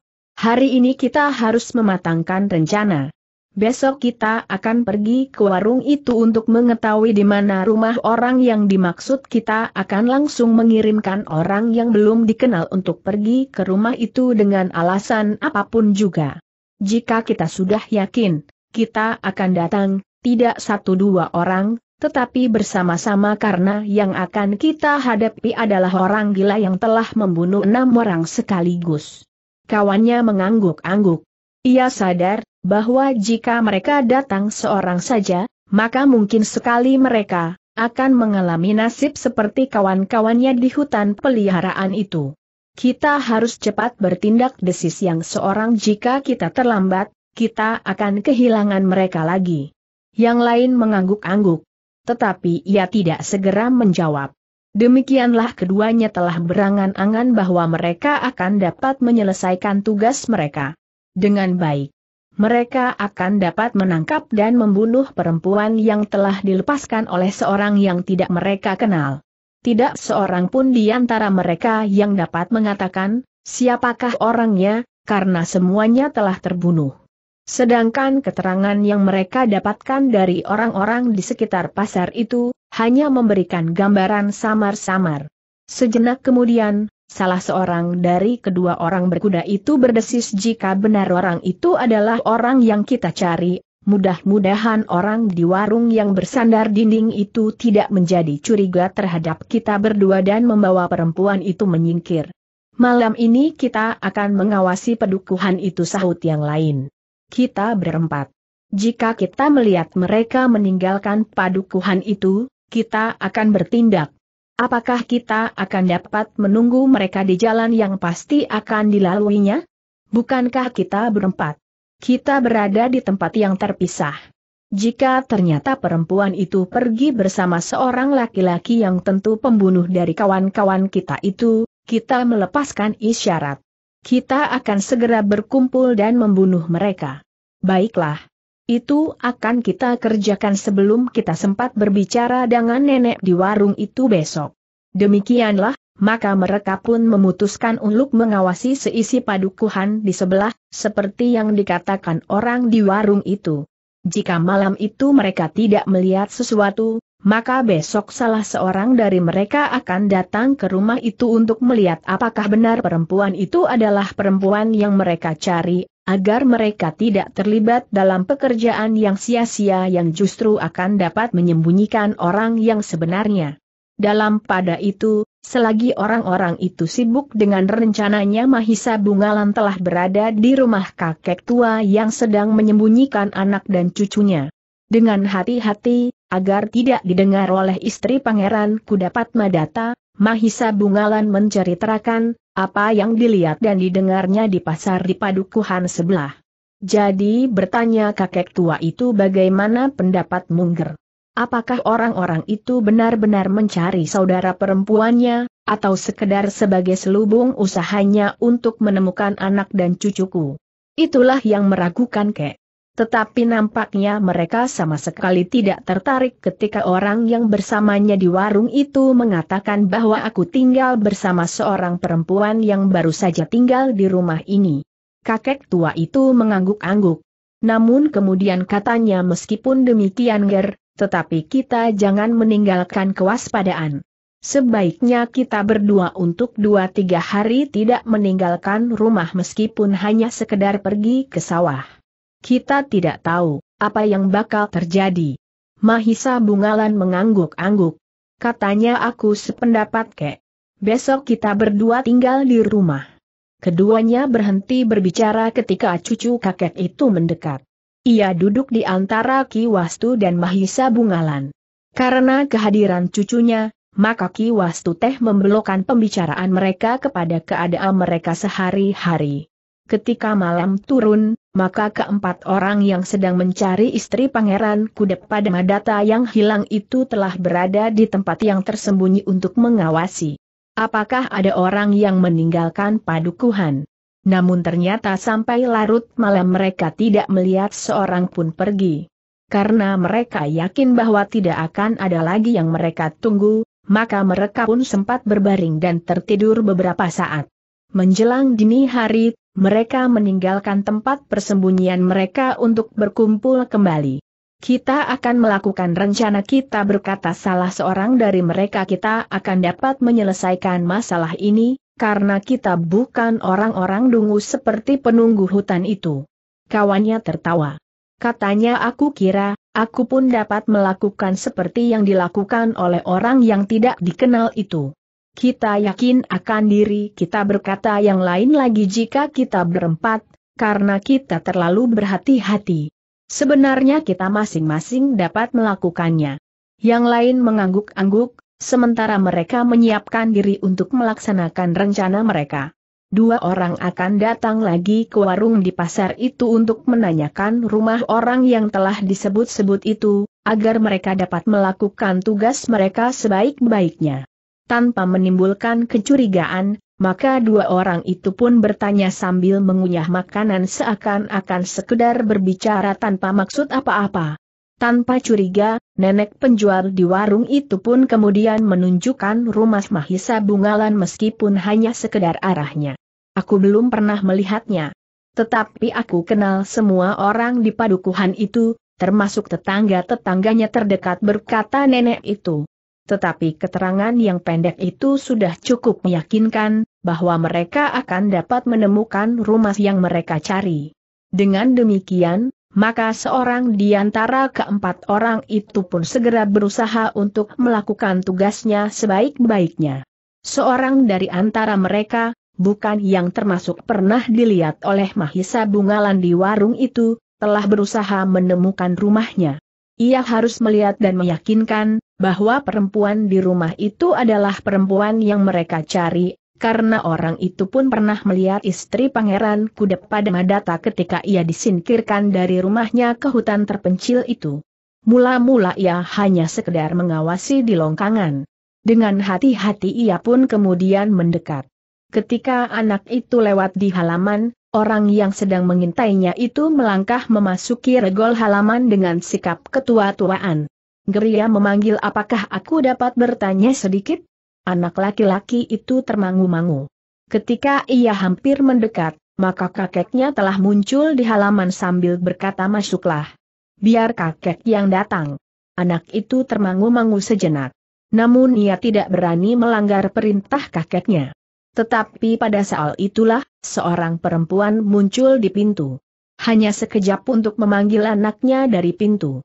Betapa ia berhati-hati namun ternyata bahwa yang sekejap itu telah menumbuhkan persoalan yang gawat baginya. Laki-laki di regoli yang melihat sekilas itu telah menjadi berdebar-debar. Nampaknya perempuan itu adalah perempuan yang sedang dicarinya. Kekitaki Wastu sudah mendekati regol, maka laki-laki dengan sikap ketua-tuaan itu pun bertanya sebuah nama seorang laki-laki. Apakah benar rumah itu adalah rumah orang yang dicarinya? Ki Wastu mengerutkan keningnya.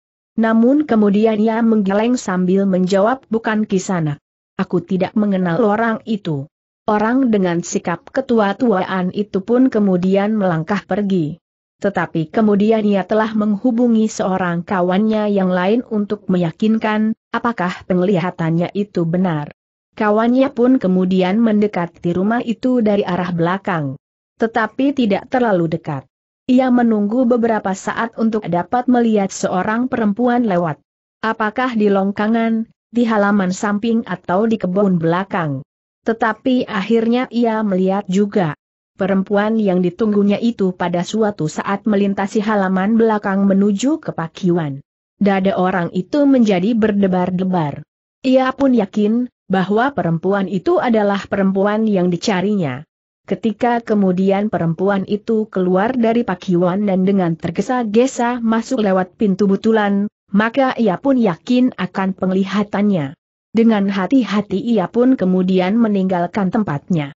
Ia tidak sempat melihat Mahisa Bungalan yang kemudian keluar dari pintu belakang. Ternyata Mahisa Bungalan dan Ki Wastu yang berada di dalam rumah ternyata juga tidak melihat, bahwa ada orang yang melihat-lihat rumahnya dari jarak yang tidak terlalu dekat. Bahwa orang itu telah berhasil melihat istri Pangeran Kudet pada Madata yang mendapat pesan dari ayahnya, untuk tidak terlalu sering keluar rumah.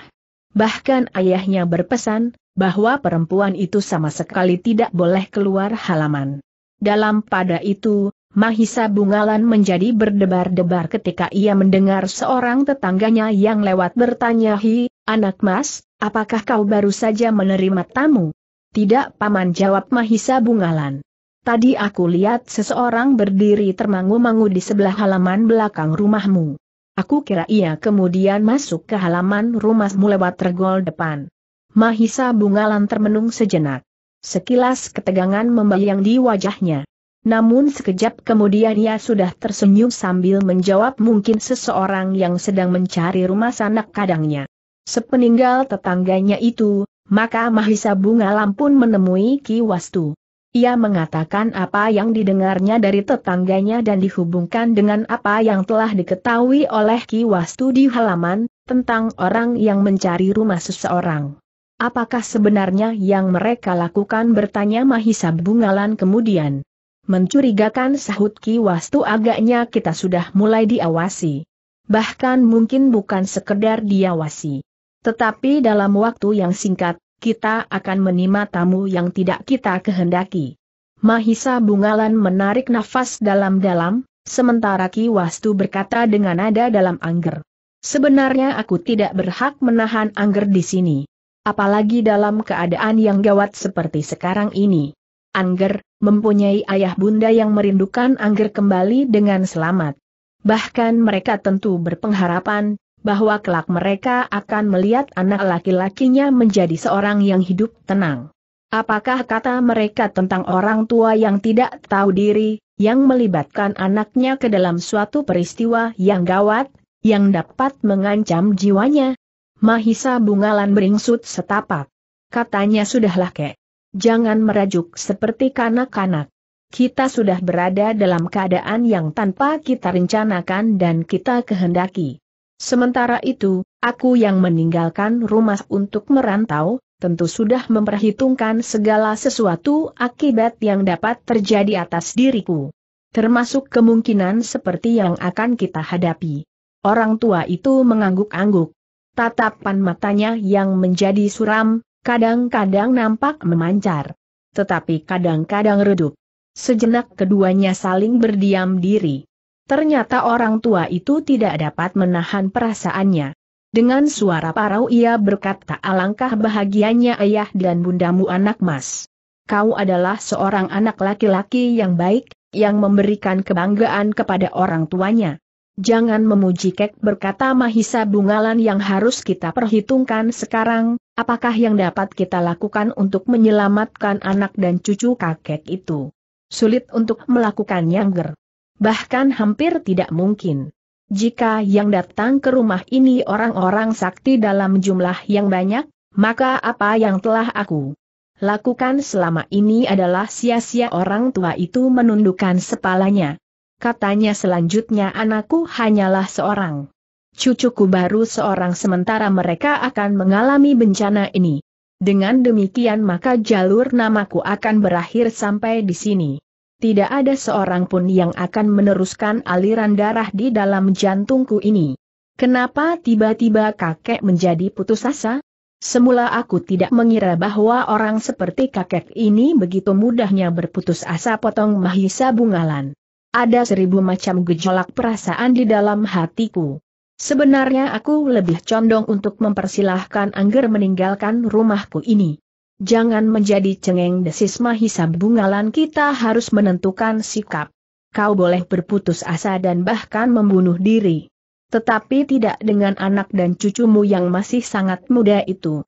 Kakek itu mengerutkan keningnya. Dipandanginya wajah Mahisa Bungalan yang justru nampak bagaikan menyala. Karena itu, maka darahnya yang serasa mulai membeku itu pun telah mengalir perlahan-lahan semakin lama menjadi semakin deras. Bahkan kemudian darah orang tua itu bagaikan mendidih di dalam jantungnya. Katanya kemudian dengan wajah tengadah kita sembunyikan mereka di dalam sanggar. Tempat itu sulit untuk diketemukan orang yang tidak mengenal rumah ini sebaik-baiknya. Pintunya tidak jelas dan letaknya pun di antara ruang-ruang yang tertutup. Mahisa Bungalan menarik nafas. Ketika ia mula-mula berada di rumah itu, ia pun tidak segera mengenal letak sanggar itu. Karena itu maka katanya bagus kek. Tetapi kakek harus berpesan, jangan menimbulkan bunyi yang dapat menarik perhatian. Orang tua itu pun kemudian termangu-mangu sejenak. Namun ia pun kemudian berdiri sambil memanggil anak dan cucunya untuk mendekat.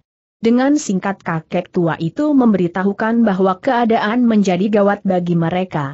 Karena itu, sebaik kelia anak dan cucunya itu menempatkan diri sebaik-baiknya untuk menghindarkan diri dari kemungkinan yang paling buruk. Apa yang akan terjadi kek bertanya cucunya. Orang tua itu memandang cucunya sejenak. Kemudian katanya, tidak apa-apa. Tetapi kau jangan nakal ya. Kau dan ibu harus bersembunyi di dalam sanggar kakek yang meskipun agak gelap tetapi tempat itu adalah tempat yang paling aman bagi kalian. Sejenak anak itu termangu-mangu. Ketika ia berpaling kepada ibunya, dilihat taya wajah ibunya menjadi muram. Bahkan kemudian setitik air mata telah mengambang di pelupuknya. Seharusnya aku tidak menemui anakku berkata perempuan itu tanpa aku, ia akan lebih aman. Meskipun aku harus mati, tetapi dengan demikian anakku akan terbebas dari kejaran orang-orang yang menginginkan kematiannya. Anak laki-laki itu mengerutkan keningnya. Namun kakeknya berkata jangan menyesali keadaan. Lihat, anakmu menjadi heran, kenapa kau mengeluh? Sebaiknya kau pasrahkan saja segalanya kepada Tuhan Yang Maha Pelindung, sementara kita berusaha. Sebagaimana dapat kita lakukan karena Tuhan mengaruniakan akal budi dan wadak ini. Perempuan itu mengusap matanya. Marilah berkata kakek tua itu bukankah kau sudah menanak nasi dan membuat lautnya? Bawa sajalah. Mungkin kau akan menunggu sampai waktu yang cukup lama. Biarlah anakmu tidak menjadi lapar. Jika saatnya datang aku akan memanggilmu keluar. Ingat, sebelum aku memanggil, kau berdua harus tetap berada di dalam. Kecuali jika sudah lewat semalam. Apa artinya lewat semalam itu ayah bertanya perempuan itu. Ayahnya termangu-mangu. Namun dia menggelengkan kepalanya sambil berkata marilah. Lihatlah tempat itu dan biasakan di dalam gelap. Perempuan dan anak laki-lakinya itu pun kemudian mengikuti kakek tua itu masuk ke dalam sanggar yang agak gelap. Kemudian dengan hati-hati kakek itu mengaburkan pintunya yang sempit dengan menyandarkan beberapa potong kayu bakar dan sepatah belarak kering. Ketika ia masuk ke dalam rumah, ia melihat Mahisa Bungalan berdiri di muka pintu yang dibukanya sedikit dengan berdebar-debar, orang tua itu bertanya apa yang kau lihat? Mahisa Bungalan menggelengkan kepalanya. Jawabnya singkat belum ada yang aku lihat kek. Kakek itu menarik nafas dalam-dalam. Katanya kemudian aku mempunyai senjata yang sering aku pergunakan di saat mudaku. Tetapi demi anak dan cucuku, maka senjata itu akan aku pergunakan lagi sekarang jika perlu. Mahisa Bungalan berpaling. Dipandanginya wajah kakek tua itu. Namun kemudian ia pun tersenyum sambil berkata, anak dan cucumu adalah milikmu yang paling berharga kek. Karena itu, kau harus mempertahankannya dengan taruhan apa saja yang ada padamu. Ya, aku mengerti desis orang tua itu aku akan mengambil senjataku. Tetapi barangkah kau memerlukan senjata angger? Senjata pendek atau senjata panjang? Berapa pucuk senjatamu kakek bertanya Mahisa Bungalan. Orang tua itu tersenyum. Katanya yang aku banggakan hanyalah satu.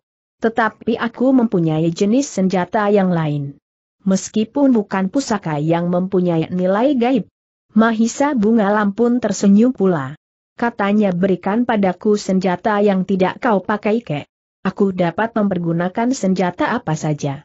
Yang pendek, yang panjang, yang lentur atau yang lemah sekalipun.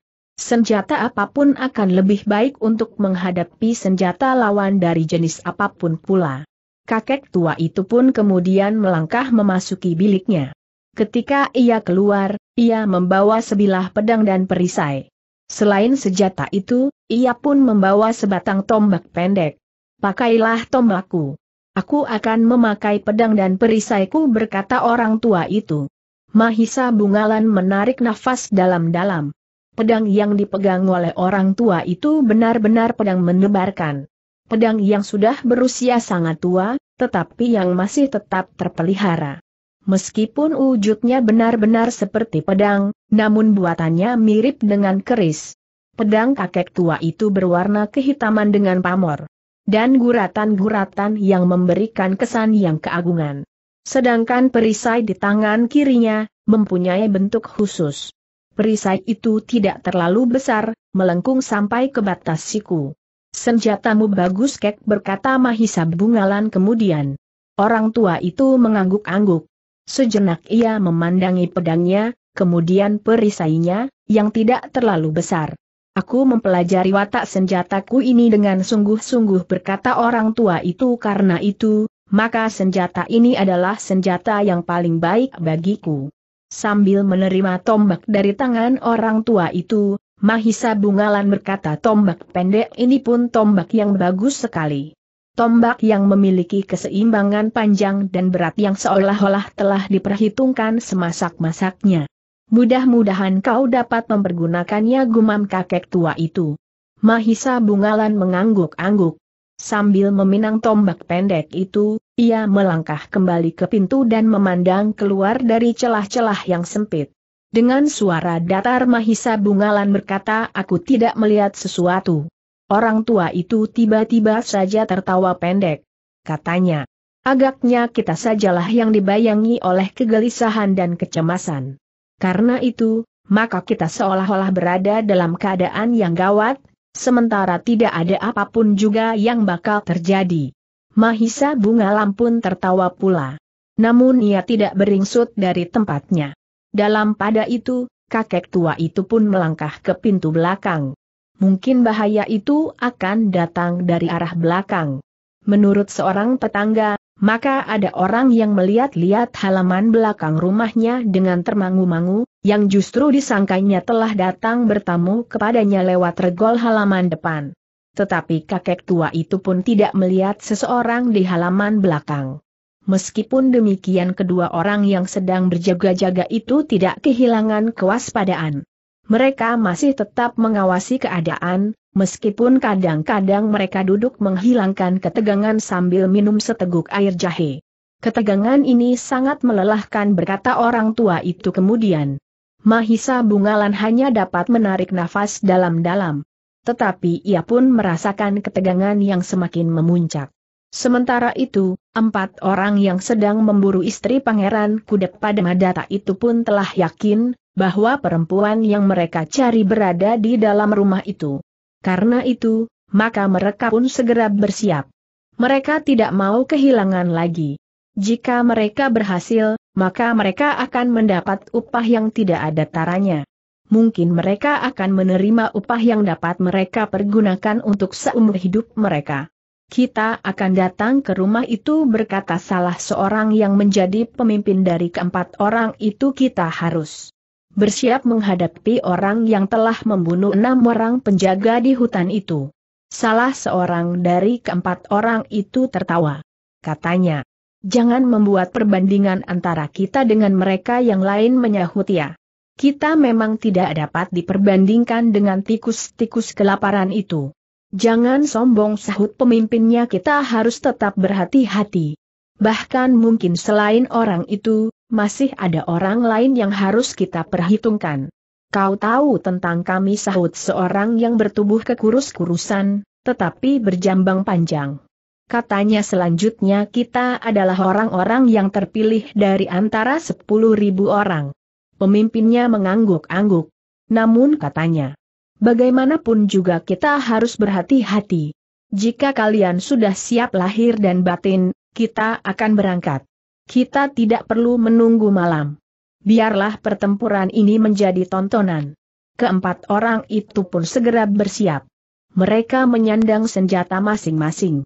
Sementara orang yang bersikap ketua-tuaan itu pun berkata aku akan datang dari regol depan. Siapa yang akan memasuki alaman rumah itu dari belakang? Tidak ada jawab orang yang agak pendek kita semua akan masuk dari depan. Memanggil orang yang telah membunuh keenam tikus kecil itu dan menantangnya bertempur sampai mati di halaman. Perang tanding? Jika memang aku harus berperang tanding, aku akan melakukannya berkata orang bertubuh agak pendek itu. Jangan mengigau bentak pemimpinnya kita harus membunuh mereka, bukan sekedar bersombong diri dengan memamerkan ilmu kita masing-masing. Mudah-mudahan mataku tidak rabun berkata orang yang bersikap ketua-tuaan tetapi aku yakin, bahwa aku benar. Dengan demikian, maka keempat orang itu pun segera bersiap untuk berangkat. Mereka segera berloncatan ke atas punggung kuda masing-masing. Mereka tidak menunggu gelap, karena mereka tidak perlu mencemaskan campur tangan orang lain. Menurut penilaian mereka, orang-orang di pedukuhan itu tidak akan sanggup membantu apa pun juga. Pada saat orang-orang itu berangkat, maka di rumah Ki Wastu, kegelisahan menjadi semakin mencengkam. Kakek tua itu dan Mahisa Bungalan berjalan mondar-mandir di dalam rumah. Sekali-kali kakek tua itu melekati pintu sanggarnya yang sudah disamarkan. Dengan suara lirih ia memanggil anak dan cucunya. Apakah kami sudah boleh keluar bertanya cucunya? Tunggu. Sebentar lagi kau boleh keluar. Tetapi berhati-hatilah. Jangan berbuat sesuatu yang dapat membahayakan dirimu sendiri. Anak laki-laki itu mengeluh. Tetapi ia mengerti, bahwa ia memang harus bersembunyi. Ketika Mahisa Bungalan sekali lagi berdiri di muka pintu yang terbuka sedikit, maka ia pun terkejut ia melihat beberapa orang berkuda berada di depan regol halaman. Kek desis Mahisa Bungalan lihat. Ternyata mereka datang. Ki Wastu menarik nafas dalam-dalam. Katanya itu lebih daripada aku harus menunggu sampai menjadi gila oleh ketegangan yang tidak ada ujung pangkalnya. Sekarang persoalannya menjadi jelas. Ternyata mereka menemukan persembunyian anak dan cucuku. Mahisa Bungalan mengangguk-angguk.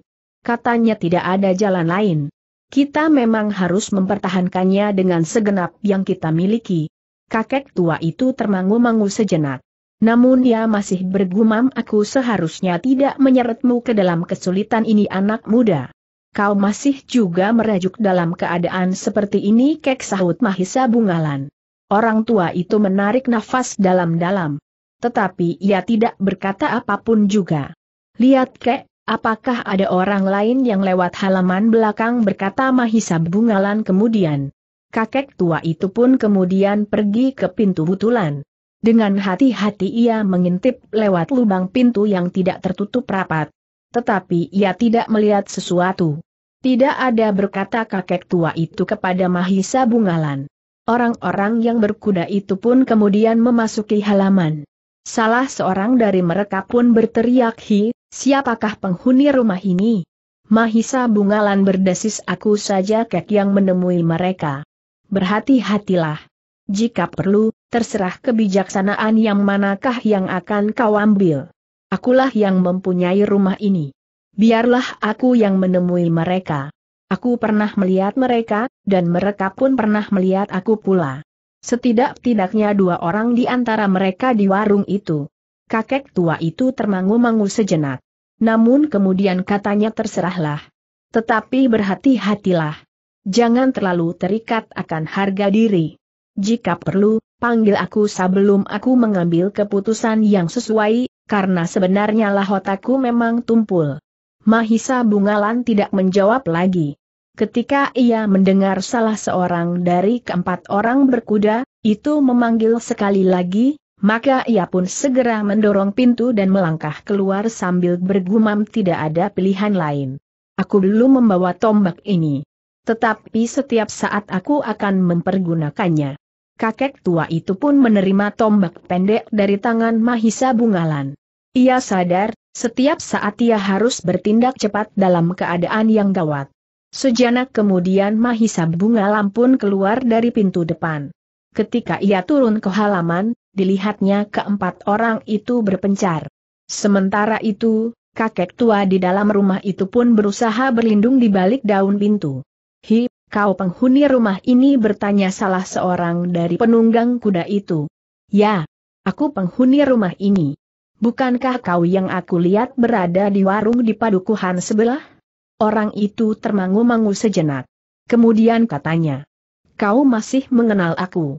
Ya, aku masih mengenalmu jawab Mahisa Bungalan. Orang itu termangu-mangu sejenak. Sekilas ia memandang wajah kawan-kawannya yang mulai berpencar di halaman rumah itu. Kemudian kembali ia memandang Mahisa Bungalan sambil berkata adalah kebetulan sekali bahwa aku telah bertemu dengan pemilik rumah ini. Apakah kau mempunyai sesuatu keperluan bertanya Mahisa Bungalan? Ya, aku ingin berbicara dengan kau barang sejenak ketika orang itu kemudian meloncat turun dari kudanya. Maka kawan-kawannya pun kemudian berloncatan turun pula. Mereka pun kemudian mengikat kuda mereka di pohon-pohon perdu yang bertebaran di pinggir halaman. Orang yang agaknya pemimpin dari kelompok kecil itu pun kemudian mendekati Mahisa Bungalan, sementara kawan-kawannya berdiri beberapa langkah daripadanya. Kisanak berkata orang itu aku ingin bertanya langsung kepada persoalannya. Apakah saudara perempuanku ada di sini? Mahisa Bungalan mengerutkan keningnya. Ia sadar, bahwa orang-orang itu sebenarnya tidak akan dapat dibawa dalam pembicaraan apa pun juga. Mereka tentu akan memaksa memasuki rumahnya untuk melihat apakah perempuan yang dicarinya ada di rumah itu. Meskipun demikian Mahisa Bungalan menjawab. Bagaimana mungkin saudara perempuanmu ada di rumah ini? Jangan banyak bicara desak orang itu bawalah perempuan itu kemari. Aku memerlukannya. Bawa pula anak laki-lakinya. Dengan demikian maka kau akan selamat. Mahisa Bungalan tidak melihat kemungkinan apa pun lagi kecuali bertempur. Karena itu, maka jawabnya mengatasi kegarangan lawannya Kisanak. Sebenarnya lah bahwa aku tidak tahu di manakah saudara perempuanmu itu bersembunyi.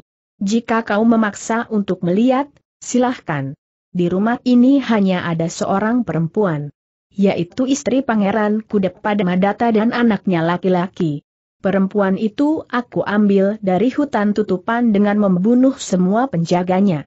Karena itu, jika kau memerlukannya, kau pun harus berbuat serupa. Membunuh semua penjaganya. Jantung keempat orang yang datang ke halaman rumah itu berdentang terlalu keras. Mereka sama sekali tidak menduga bahwa mereka akan mendapat jawaban yang demikian langsung dan terbuka. Dengan demikian, maka mereka pun mulai menilai anak muda yang berdiri di hadapan mereka. Anak muda itulah agaknya yang telah membunuh para penjaga di hutan tutupan itu. Sambil menggeram pemimpin kelompok kecil itu berkata, Jangan berbangga dengan tingkah lakumu. Kau dapat membunuh kucing-kucing itu dengan mudah. Tetapi jika kau bertemu dengan harimau-harimau yang buas, maka kau harus berpikir ulang untuk menentukan langkah sebelum kan menyesal.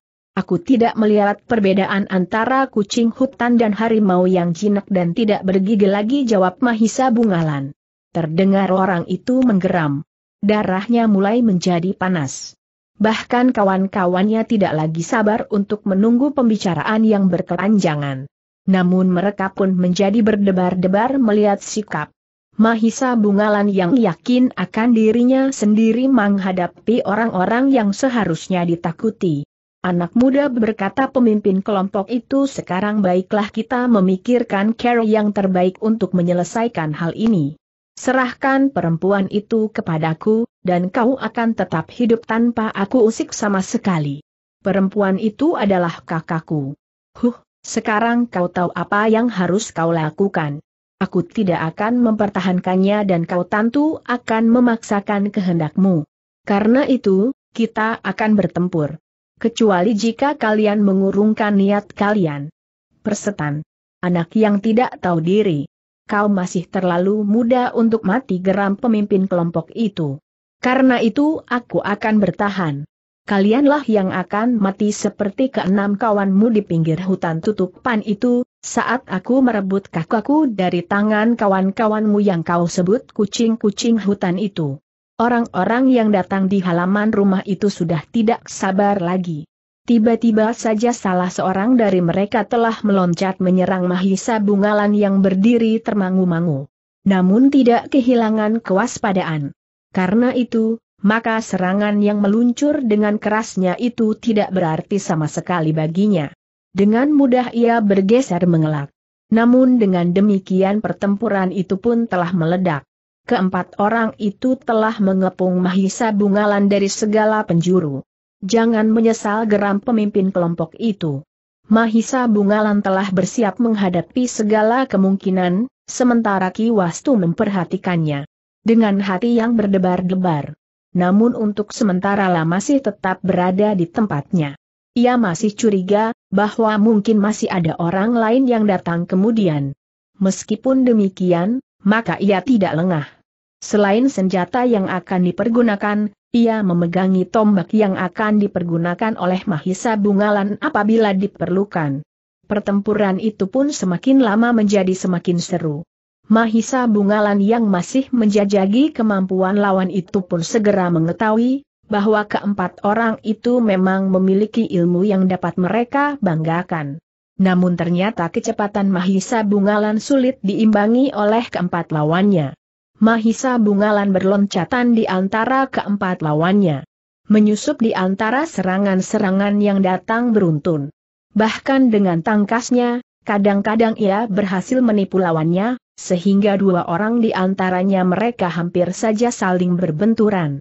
Dalam pada itu, ternyata perkelahian di halaman rumah itu telah menarik perhatian.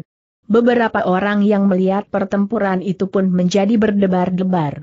Namun ternyata bahwa yang seorang telah memberitahukan kepada yang lain, sehingga sejenak kemudian, seisi padukuhan itu mengetahui, bahwa di halaman rumah Ki Wastu telah terjadi pertempuran yang sengit.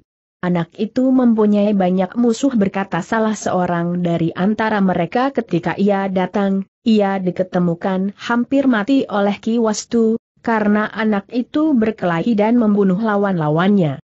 Mungkin bukan kesalahannya sahut yang lain. Mungkin telah disudutkan pada satu-satunya kemungkinan yang dapat ditempuh. Nampaknya ia bukan seorang anak muda yang jahat, atau seorang yang memang mempunyai kesenangan berkelahi. Beberapa orang telah melihat pertempuran itu dari kejauhan. Mereka menjadi berdebar-debar ketika mereka melihat pertempuran yang semakin lama menjadi semakin seru. Apalagi karena Mahisa Bungalan harus bertempur melawan empat orang yang garang. Namun ternyata bahwa Mahisa Bungalan masih tetap dapat bertahan. Ia masih mampu menghindari setiap serangan. Ia berloncatan dari sudut ke sudut halaman, dari seberang ke seberang. Dengan demikian, maka keempat lawannya harus memburunya susul menyusul. Mereka tidak berhasil mengepung Mahisa Bungalan dalam lingkaran, karena kecepatan geraknya. Dalam pertempuran yang sengit itu, Mahisa Bungalan merasa betapa manfaat landasan ilmu yang diberikan oleh orang tua itu yang meskipun hanya sekedar alas bagaikan ompak bagi tiang, namun alas itu telah mengangkat dan meningkatkan keseluruhan ilmunya dengan segala macam kemungkinannya. Karena itulah, maka Mahisa Bunga Lampun kemudian mampu bergerak lebih cepat. Mempunyai kekuatan yang bagaikan berlipat sementara pernafasannya pun menjadi semakin landung dan teratur, sesuai dengan setiap keadaan yang terjadi pada tubuhnya. Dengan demikian, maka lawannya pun menjadi bingung karenanya. Setiap kali mereka kehilangan Mahisa Bungalan. Meskipun Mahisa Bungalan juga masih belum berhasil melumpuhkan salah seorang dari lawannya, namun lawannya pun tidak dapat berbuat terlalu banyak atasnya. Anak setan geram pemimpin kelompok itu ternyata anak ini licik seperti demit. Ia hanya dapat berlari-lari mengelilingi halaman. Siapa yang licik sahut Mahisa Bungalan aku hanya seorang diri. Tetapi kalian berempat. Aku kira anak muda yang telah berhasil membunuh enam orang pengawal itu adalah seorang anak muda yang tanggon. Tetapi ternyata dugaanku keliru desis yang lain. Mahisa Bungalan justru tertawa. Katanya inilah aku. Apa pun yang kau katakan tentang diriku, inilah kenyataannya. Dan kalian memang tidak dapat mengalahkan aku pemimpin kelompok itu tidak sabar lagi. Dengan garangnya ia berkata kita akan membantainya. Kita akan membunuhnya dengan senjata dan mencincang mayatnya sampai lumat. Sekejap kemudian, maka keempat orang itu telah menggenggam senjata mereka masing-masing. Dengan garangnya mereka mengacu-acukan senjata mereka dan agaknya mereka benar-benar siap untuk mencincang Mahisa Bungalan. Pada saat yang demikian, Ki Wastu melihat bahwa keadaan menjadi gawat bagi Mahisa Bungalan.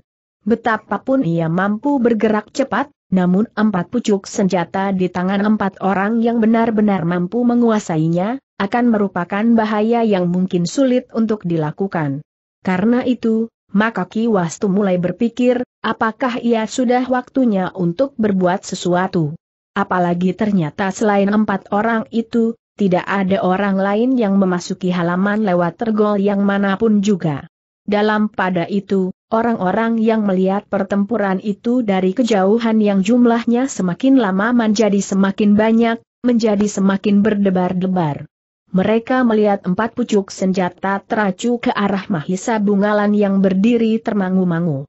Apakah anak muda itu masih mampu bertahan desis salah seorang? Ia tidak mempunyai senjata apa pun juga sahut yang lain. Dalam pada itu, Ki Wastu tidak dapat menunggu lebih lama lagi. Jika ia membiarkan Mahisa Bungalan bertempur tanpa senjata melawan empat orang itu, betapapun ia mampu berloncatan seperti burung sikatan, namun ia tentu akan sedikit demi sedikit tergores ujung senjata lawannya. Karena itu, Ketika keempat orang lawan Mahisa Bungalan itu siap untuk menerkam Mahisa Bungalan dengan senjatanya, maka orang itu tiba-tiba saja telah muncul dari balik pintu sambil berkata angger. Inilah senjatamu. Apakah belum waktunya kau pergunakan? Semua orang berpaling kepada orang tua itu. Ia membawa sebatang tombak pendek. Sementara itu, ia pun membawa pula pedang yang khusus dengan sebuah perisai kecil di tangan kirinya. Sejenak keempat orang lawan Mahisa Bungalan itu memperhatikan orang tua itu yang berdiri termangu-mangu itu. Ki Wastu masih berdiri tegak.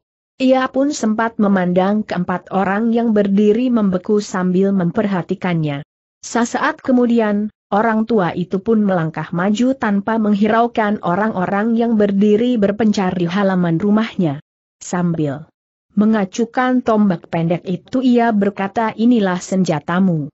Mahisa Bunga Lampun maju selangkah. Sambil menerima senjatanya ia berkata terima kasih kek. Keempat orang ini ternyata adalah orang-orang yang licik. Mereka hanya berani bertempur dalam kelompok. Mereka tidak berani berperang tanding, dengan atau tidak dengan senjata. Persetan pemimpin kelompok itu berteriak aku tidak peduli apa yang kau katakan, karena sebentar lagi kau akan mati kecuali jika kau bersedia menyerahkan perempuan itu bersama dengan anaknya. Maksudmu istri pangeran kudep pada Madata itu kisanak bertanya kakek tua itu. Ya, aku memerlukannya. Untuk apa? Akan aku bawa menghadap pangeran kudapat Madata. Tiba-tiba saja Mahisa Bungalan tertawa. Katanya, jangan mengigau, siapa yang akan menyerahkan perempuan itu kepada pangeran kudapat Madata? Bukankah kalian telah menyimpannya di hutan tutupan itu? Aku tahu, bahwa perempuan dan anak laki-lakinya itu harus dibunuh. Dengan demikian, maka tidak seorang pun yang akan mempersoalkan warisan yang kelak akan ditinggalkan oleh pangeran kudapat Madata. Parsetan teriak pemimpin kelompok itu apa pedulimu tentang kematian perempuan dan anak laki-lakinya jika itu memang kami kehendaki. Minggirlah kakek tua, supaya kau tidak terinjak oleh kaki-kaki kami. Maaf kisana. Aku tidak dapat minggir, karena perempuan itu adalah anakku, sedangkan anak laki-laki itu adalah cucuku. Diakui atau tidak, dikenal atau tidak oleh pangeran dapat madata, namun aku akan mempertahankannya karena mereka adalah jiwa yang akan mempertahankan garis keturunanku. Yang akan mewarisi namaku, karena aku tidak mempunyai warisan apa pun juga selain nama dan darah keturunan. Terdengar salah seorang dari keempat orang itu tertawa. Katanya kakek tua yang malang. Jika kau ingin membunuh diri, minumlah racun warangan. Atau cobalah menggantung diri di pengeret rumahmu, atau hanyutkan dirimu jika kali sedang banjir. Tetapi jangan mempergunakan tangan-tangan kami karena kami akan membunuh orang-orang yang menentang kami, karena kami tidak ingin dirintangi. Bukan sebagai alat untuk membunuh diri. Orang tua itu termangu-mangu. Katanya aku tidak akan membunuh diri. Aku akan mempertahankan anakku perempuan dan cucuku laki-laki. Jika aku mati, mereka pun akan mati. Karena itu, aku akan bertahan untuk tetap hidup. Pemimpin kelompok itu pun menggeram. Katanya aku tidak peduli apa yang kau katakan. Aku pun tidak akan memberikan siapa pun yang terlibat dalam persoalan ini untuk tetap hidup. Aku akan membunuh semuanya. Aku akan membakar rumah ini dan memasukkan tubuh kalian ke dalamnya bersama perempuan dan anak laki-laki itu. Dengan demikian, benar seperti yang dikatakan oleh anak muda itu, bahwa pangeran kudep pada Madata tidak akan diganggu lagi oleh perempuan dan anak pedesaan yang tidak berarti apa-apa itu. Darah yang mengalir di tubuhnya akan mengotori keturunan Kediri sehingga kemurnian darah bangsawan dari istana Kediri akan menjadi kabur. Kakek tua itu mengerutkan keningnya. Dengan suara bergetar ia berkata kau sudah menghina keturunanku aku memang seorang dari padesan. Tetapi bukan anakkulah yang datang menyerahkan dirinya kepada pangeran kudapat Madata. Tetapi pangeran itulah yang datang ke rumah kami dan dengan memelas mohon kepadaku, agar aku mengizinkan anakku menjadi istrinya. Tetapi kau harus melihat dirimu sendiri. Kau harus merasa bahwa kau adalah orang padesan.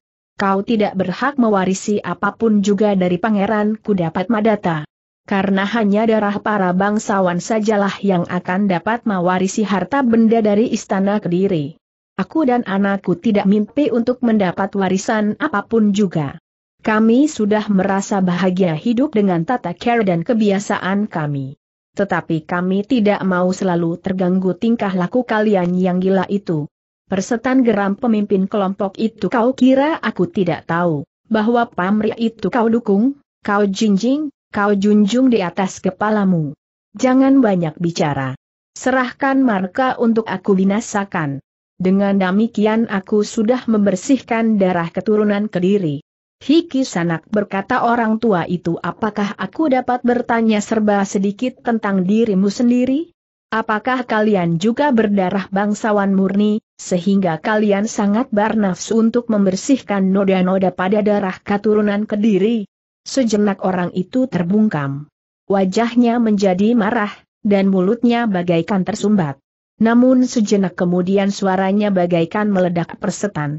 Bunuh mereka berdua lemparkan mayat mereka ke dalam api. Yang akan berkobar membakar rumah itu. Perempuan dan anak laki-lakinya itu pun harus dilemparkan pula ke dalam api hidup-hidup. Orang tua itu surut selangkah. Ia mengambil jarak dari Mahisa Bungalan, karena mereka tidak akan bertempur berpasangan. Orang tua itu pun sadar, bahwa ia akan melawan dua orang di antara keempat orang yang mendatangi rumahnya itu.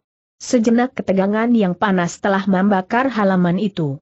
Beberapa orang yang melihat peristiwa itu dari kejauhan menjadi semakin berdebar-debar. Apalagi karena Ki Wastu telah turun ke halaman itu pula. Ki Wastu yang mereka kenal sebagai seorang petani yang hanya mampu menggenggam cangkul dan menyabit rumput untuk memberi makan binatang peliharaannya. Kini ia memegang pedang yang khusus di tangan kanan, dan perisai di tangan kiri. Nampaknya memang anak. Orang tua itu seolah-olah menjadi orang lain dari yang mereka kenal sehari-hari. Dalam pada itu, Ki Wastu dan Mahisa Bungalan telah bersiap untuk bertempur. Ki Wastu yang sudah melihat, bagaimana Mahisa Bungalan mengalahkan kedua orang yang memburunya di bulak di saat anak muda itu datang ke padukuhan itu, diatasi dengan ilmu yang disadap dari orang tua itu, maka anak muda itu adalah anak muda yang memiliki kemampuan yang pilih tanding. Sementara Ki Wastu sendiri adalah seorang yang memiliki ilmu yang mengagumkan. Tetapi untuk waktu yang lama, orang tua itu telah memiliki jalan kehidupan yang tenang sebagai seorang petani. Namun ternyata pada suatu saat, ia harus mengambil senjatanya dari simpanan, karena ia harus mempertahankan anak perempuan dan cucunya. Ketegangan itu memuncak ketika keempat orang yang memasuki halaman itu mulai bergerak. Tanpa berjanji. Mereka telah membagi diri. Mereka telah melihat kecepatan bergerak Mahisa Bungalan. Namun bagi mereka, yang dilakukan oleh Mahisa Bungalan itu hanyalah sekedar berlari-lari kian kemari. Kini, dua di antara mereka harus menghadapinya, sementara dua orang yang lain telah menghadapi Ki Wastu dari dua arah. Bunuh kakak tua itu secepatnya berkata pemimpin kelompok itu kemudian kita beramai-ramai mencincang anak muda ini. Keduanya akan kita lemparkan ke dalam api yang segera akan menelan gubuk kakek gila ini. Orang-orangnya pun segera mapan. Sementara Ki Wastu telah menggerakkan pedangnya. Seolah-olah ia ingin mengetahui, apakah tangannya yang tua itu masih mampu melakukannya. Tetapi sebenarnya lah bahwa Ki Wastu masih tetap seorang yang pilih tanding. Meskipun ia menjadi semakin tua, tetapi ia tidak pernah lupa memasuki sanggarnya meskipun hanya untuk sesaat setiap hari. Kadang-kadang pagi-pagi sebelum cucunya bangun. Namun kadang-kadang di malam hari, selagi cucunya tertidur nyenyak. Kini ia berdiri berhadapan dengan dua orang yang berwajah kasar dan bengis. Namun untuk mempertahankan anak dan cucunya, Ki Wastu sama sekali tidak menjadi gentar. Mahisa Bungalan yang kemudian menggenggam sebatang tombak pendek, telah bersiap sepenuhnya. Setiap saat ia dapat meloncat menyerang, atau menangkis jika serangan datang. Ternyata pemimpin kelompok itu tidak menunggu lebih lama lagi. Ialah yang pertama-tama meloncat menyerang Mahisa Bungalan, disusul dengan seorang kawannya. Namun Mahisa Bungalan telah siap dengan tombaknya.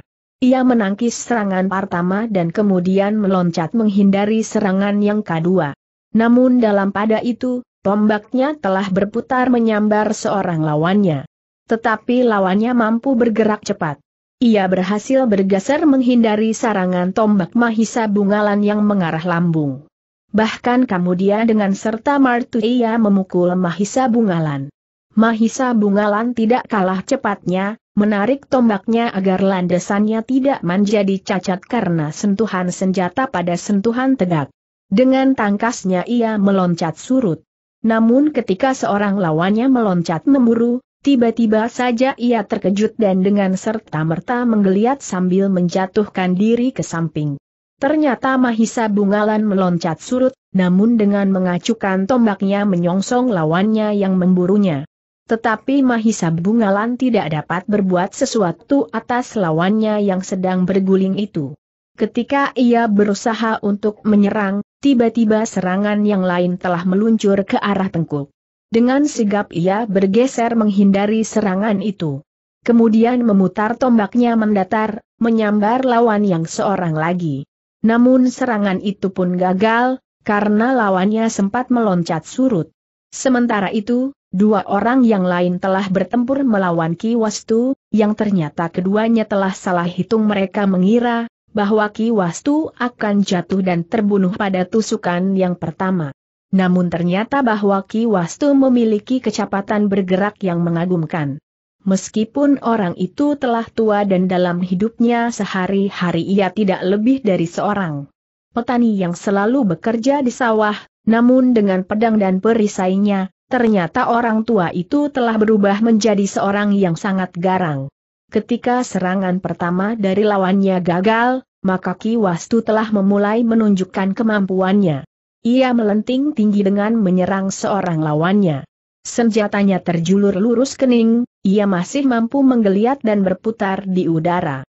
Demikian ujung kakinya menyentuh tanah, maka ia pun telah melenting sekali lagi, menghindari serangan lawan yang menyambarnya.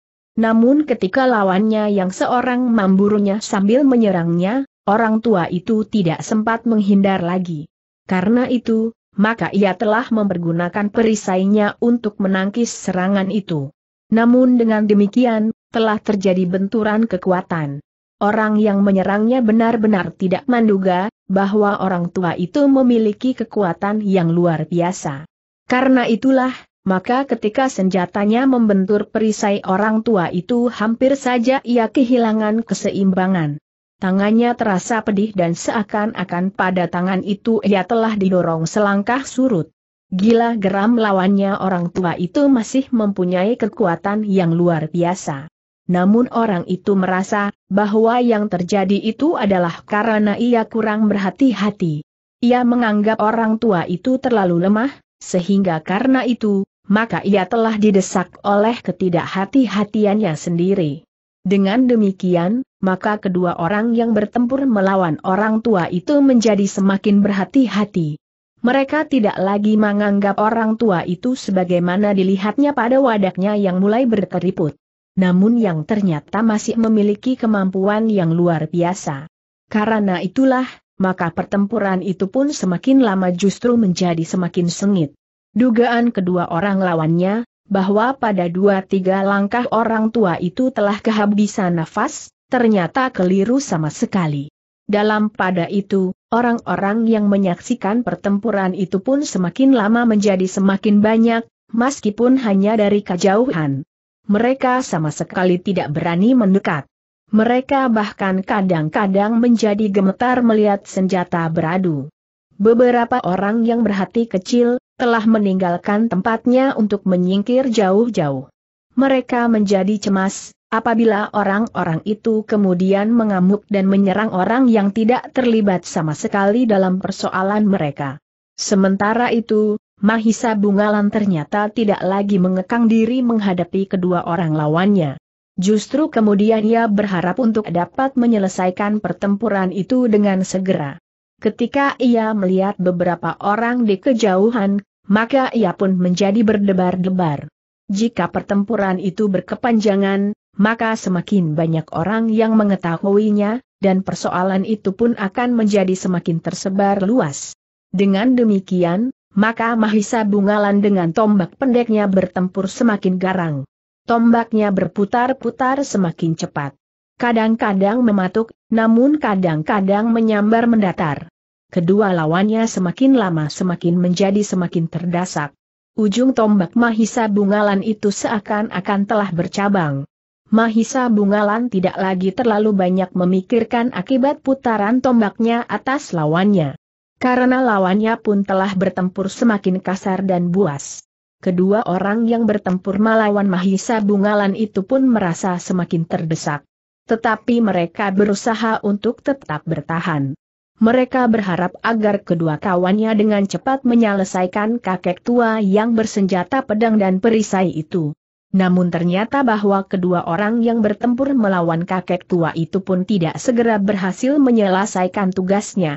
Kakek tua itu ternyata masih memiliki kecepatan gerak dan kekuatan yang sulit untuk diimbangi oleh lawannya. Karena itu, bukannya kedua lawannya segera mengalahkannya, tetapi justru keduanya semakin lama merasa, semakin terdesak seperti kedua orang lawan Mahisa Bungalan. Sementara di halaman terjadi pertempuran yang sengit, di dalam sanggar anak perempuan Ki Wastu beserta cucunya laki-laki menunggu dengan gelisah. Kedua-duanya mendengar sesuatu telah terjadi. Tetapi keduanya tidak tahu dengan pasti. Namun mereka dapat menduga, bahwa yang terjadi itu adalah pertempuran yang sangit di halaman. Kedua orang itu menjadi cemas dan gemetar. Mereka pernah mengalami keadaan yang serupa. Mereka pernah mengalami perlakuan yang tidak berperi kemanusiaan setelah sebelumnya terjadi pertempuran yang sengit. Untunglah pada waktu itu anaknya dapat diselamatkan, kemudian dirinya sendiri tidak segera dibunuh karena masih akan dipergunakan sebagai umpan untuk menangkap anak laki-lakinya. Kini pertempuran itu telah berlangsung lagi. Ia sama sekali tidak tahu akibat apa yang akan terjadi. Sejenak perempuan itu termangu-mangu. Namun ketika melihat pedang di dinding, ia menarik nafas dalam-dalam. Ternyata perempuan itu akan memilih mati daripada jatuh ke tangan orang-orang itu sekali lagi. Ia pernah mengalami siksaan lahir dan batin yang tidak ada taranya. Hanya karena kata bahannya sajalah, maka ia tidak menjadi korban yang lebih biadab lagi dari orang-orang yang menyembunyikannya di hutan. Namun gambaran-gambaran yang buram menjadi semakin jelas. Sekali-sekali bayangan yang mengerikan itu bagaikan siap untuk menerkamnya. Satu dua pekan lagi, jika aku tidak berhasil dilepaskan dari tangan mereka, aku tentu sudah menjadi korban kebiadaban mereka berkata perempuan itu di dalam hatinya. Karena itu, maka ia tidak akan dapat membiarkan dirinya sekali lagi jatuh ke tangan mereka. Yang dapat dilakukan oleh perempuan itu hanyalah berdoa di dalam sanggar yang tertutup itu. Sekali-sekali ia mendengar tentang senjata beradu. Jika anak laki-lakinya dengan wajah yang pucat memandanginya, maka dipeluknya anak itu melekat dadanya. Namun ia tidak dapat berbuat sesuatu. Seperti pesan Ki Wastu, maka kedua orang anak dan ibu itu selalu berusaha untuk tidak berbuat sesuatu yang dapat menarik perhatian. Karena itu, betapapun tekanan beresaan yang menghimpit dada, namun kedua orang itu bertahan untuk tidak menimbulkan suara apa pun juga. Di luar Mahisa Bungalan bertempur dengan tombak pendeknya. Semakin lama tombak itu berputar semakin cepat. Jika Mahisa Bungalan menyambar lawannya yang seorang, maka ia harus memperhatikan lawannya yang lain. Ternyata kedua lawannya itu mampu bekerja bersama dengan baiknya. Keduanya saling mengisi, dan seakan-akan keduanya mempunyai pusat kehendak yang bersamaan. Namun Mahisa Bungalan mampu bergerak terlampau cepat. Betapapun lawannya mampu bekerja bersama. Namun mereka tidak segera dapat menguasai anak muda itu. Bahkan setiap usaha untuk mengurungnya, selalu dapat dibelah oleh kemampuan Mahisa Bungalan yang mengagumkan. Ketika seorang lawannya berusaha untuk berada dalam garis serangan dari arah punggung, sementara yang lain memancing perhatian Mahisa Bungalan dari depan, anak muda itu telah menempatkan diri pada keseimbangan tubuh, sehingga ketika benar-benar terjadi seperti yang diperhitungkannya, serangan yang datang bersama dari dua arah, maka ia sempat melenting ke samping. Tetapi ternyata seorang lawannya menarik serangannya, lah meloncat selangkah surut. namun demikian kakinya menjejak tanah, maka ia pun bagaikan dilontarkan menyerang Mahisa Bungalan dengan ujung senjatanya secepat tatit menyambar di langit. Namun Mahisa Bungalan sempat menggeliat, ia sempat memukul senjata lawannya dengan tangkai tombaknya, sehingga ujung senjata itu berubah arah dan sama sekali tidak menyentuhnya. Bahkan Mahisa Bungalan sempat mempersiapkan diri untuk memburunya dan menyerang lambung. Tetapi ketika Mahisa Bungalan siap untuk meloncat, ia justru harus meloncat surut. Serangan dari lawannya yang seorang hampir saja mematuk lehernya. Untunglah ia sempat mengelak dengan memiringkan kepalanya. Namun lawannya bergerak cukup cepat. Senjata itu pun tiba-tiba saja telah terayun mendatar, menebas leher Mahisa Bungalan. Mahisa Bungalan tergetar melihat serangan itu. Namun ia tidak menjadi bingung, selagi senjatanya tidak pada kemungkinan untuk menangkis, maka ia pun harus merundukkan kepalanya dalam-dalam. Tetapi pada saat itu pula, lawannya yang lain telah menyerangnya dengan serangan mendatar setinggi lambung. Mahisa Bungalan tidak dapat berbuat lain daripada melemparkan dirinya beberapa langkah surut. Namun sekilas ia melihat kaki lawannya mulai bergerak. Serangan berikutnya dari lawannya yang lain telah menyusul. Karena itu, demikian kedua kakinya berdiri tegak di atas tanah, maka dengan serta-merta, Mahisa Bunga Lampun berjuang dengan tombak terjulur lurus ke depan, menyongsong lawannya yang loncat menyerang. Lawannya terkejut melihat gerak yang demikian cepat. Dengan serta-merta ia pun berusaha untuk menahan dirinya dan menghindari ujung tombak yang justru siap menyongsongnya. Karena dorongan kekuatan sendiri, lawannya ternyata terlalu sulit untuk menghindarkah diri dari ujung tombak Mahisa Bungalan. Karena itu, maka dengan senjatanya ia berusaha memukul ujung tembak lawannya. Mahisa Bungalan sempat menarik ujung tombaknya. Tetapi dengan satu putaran, tombak itu telah mematuk sekali lagi ke arah lambung. Sekali lagi orang itu berusaha menghindar dan menangkis tetapi tubuhnya telah menjadi condong dan kehilangan keseimbangan. Karena itu, maka orang itu pun justru telah terjatuh ke samping. Meskipun ia berhasil lepas dari sasaran ujung tombak Mahisa Bungalan, namun ternyata bahwa ia telah terjatuh karena kehilangan keseimbangan. Mahisa Bungalan tidak melepaskan kesempatan itu. Ia pun segera memburunya dan siap untuk menghunjamkan tombaknya pada saat orang itu belum sempat untuk memperbaiki kedudukannya. Tetapi Mahisa Bungalan tidak sempat melakukannya. Serangan yang dahsyat telah datang menyusul dari samping. Lawannya yang seorang tidak membiarkan Mahisa Bungayan menghunjamkan ujung tombak pendeknya kepada lawannya. Dengan demikian, maka Mahisa Bungalan harus mengurungkan serangannya ia harus meloncat menghindar. Namun karena itu, lawannya yang terjatuh itu telah sempat berguling dan melenting berdiri siap menghadapi segala kemungkinan. Mahisa Bungalan menarik nafas dalam-dalam. Ia harus mulai lagi dari permulaan. Tetapi dengan demikian, ia sudah mengetahui dengan pasti tingkat kemampuan kedua lawannya dalam olah senjata. Sementara itu, Kedua lawan Mahisa Bungalan itu pun sekali-kali berusaha mengamati kedua kawannya yang bertempur melawan kakek tua itu. Mereka berharap agar orang tua itu akan segera dapat dibunuh. Sehingga kedua kawannya itu akan bertempur bersama mereka melawan Mahisa Bungalan. Tetapi ternyata orang tua itu pun masih cukup kuat. Ia masih mampu berloncaran dengan cepatnya seperti orang-orang muda yang berilmu tinggi. Bahkan kemudian kedua lawannya itu pun harus mengakui, bahwa orang tua itu memiliki kemampuan jauh di atas mereka seorang-seorang. Dengan demikian, maka kedua orang itu harus bertempur berpasangan sebaik-baiknya. Keduanya harus dapat saling mengisi agar mereka tidak terjebak dalam kesulitan. Karena itulah, maka keduanya, seperti juga lawan Mahisa Bungalan, telah bertempur bagaikan dikendalikan oleh satu kehendak. Keduanya seolah-olah mengerti, apa dan dalam keadaan yang bagaimana kedudukan kawannya. Tetapi lawannya adalah orang tua yang berpengalaman.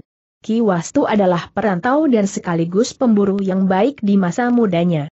yang pernah melakukan pengembaraan dengan berbagai macam suasana. Ki Wastu di masa mudanya terlalu sering bertempur berhadapan dengan sesama dan melawan orang-orang jahat yang dijumpainya. Tetapi Ki Wastu juga terlalu sering bertempur melawan berbagai jenis binatang. Binatang yang tidak mempergunakan ilmu apa pun juga, salah satu kekuatan dan gerak nalurinya. Namun demikian, Beberapa jenis binatang memiliki kecepatan bergerak dan senjata pada dirinya yang sangat berbahaya. Karena itulah, meskipun umurnya menjadi semakin tua, tetapi kemampuan Ki Wastu seolah-olah tidak berkurang. Bahkan semakin lama ia menjadi semakin matang. Meskipun Ki Wastu tidak dapat mengingkari keharusan alam yang berlaku bagi dirinya yang menjadi semakin tua, namun latihan yang teratur, telah membuat tubuhnya yang tua itu masih tetap memiliki kelebihan dari orang-orang kebanyakan. Itulah sebabnya, maka melawan dua orang sekaligus, Ki Wastu masih tetap berbahaya.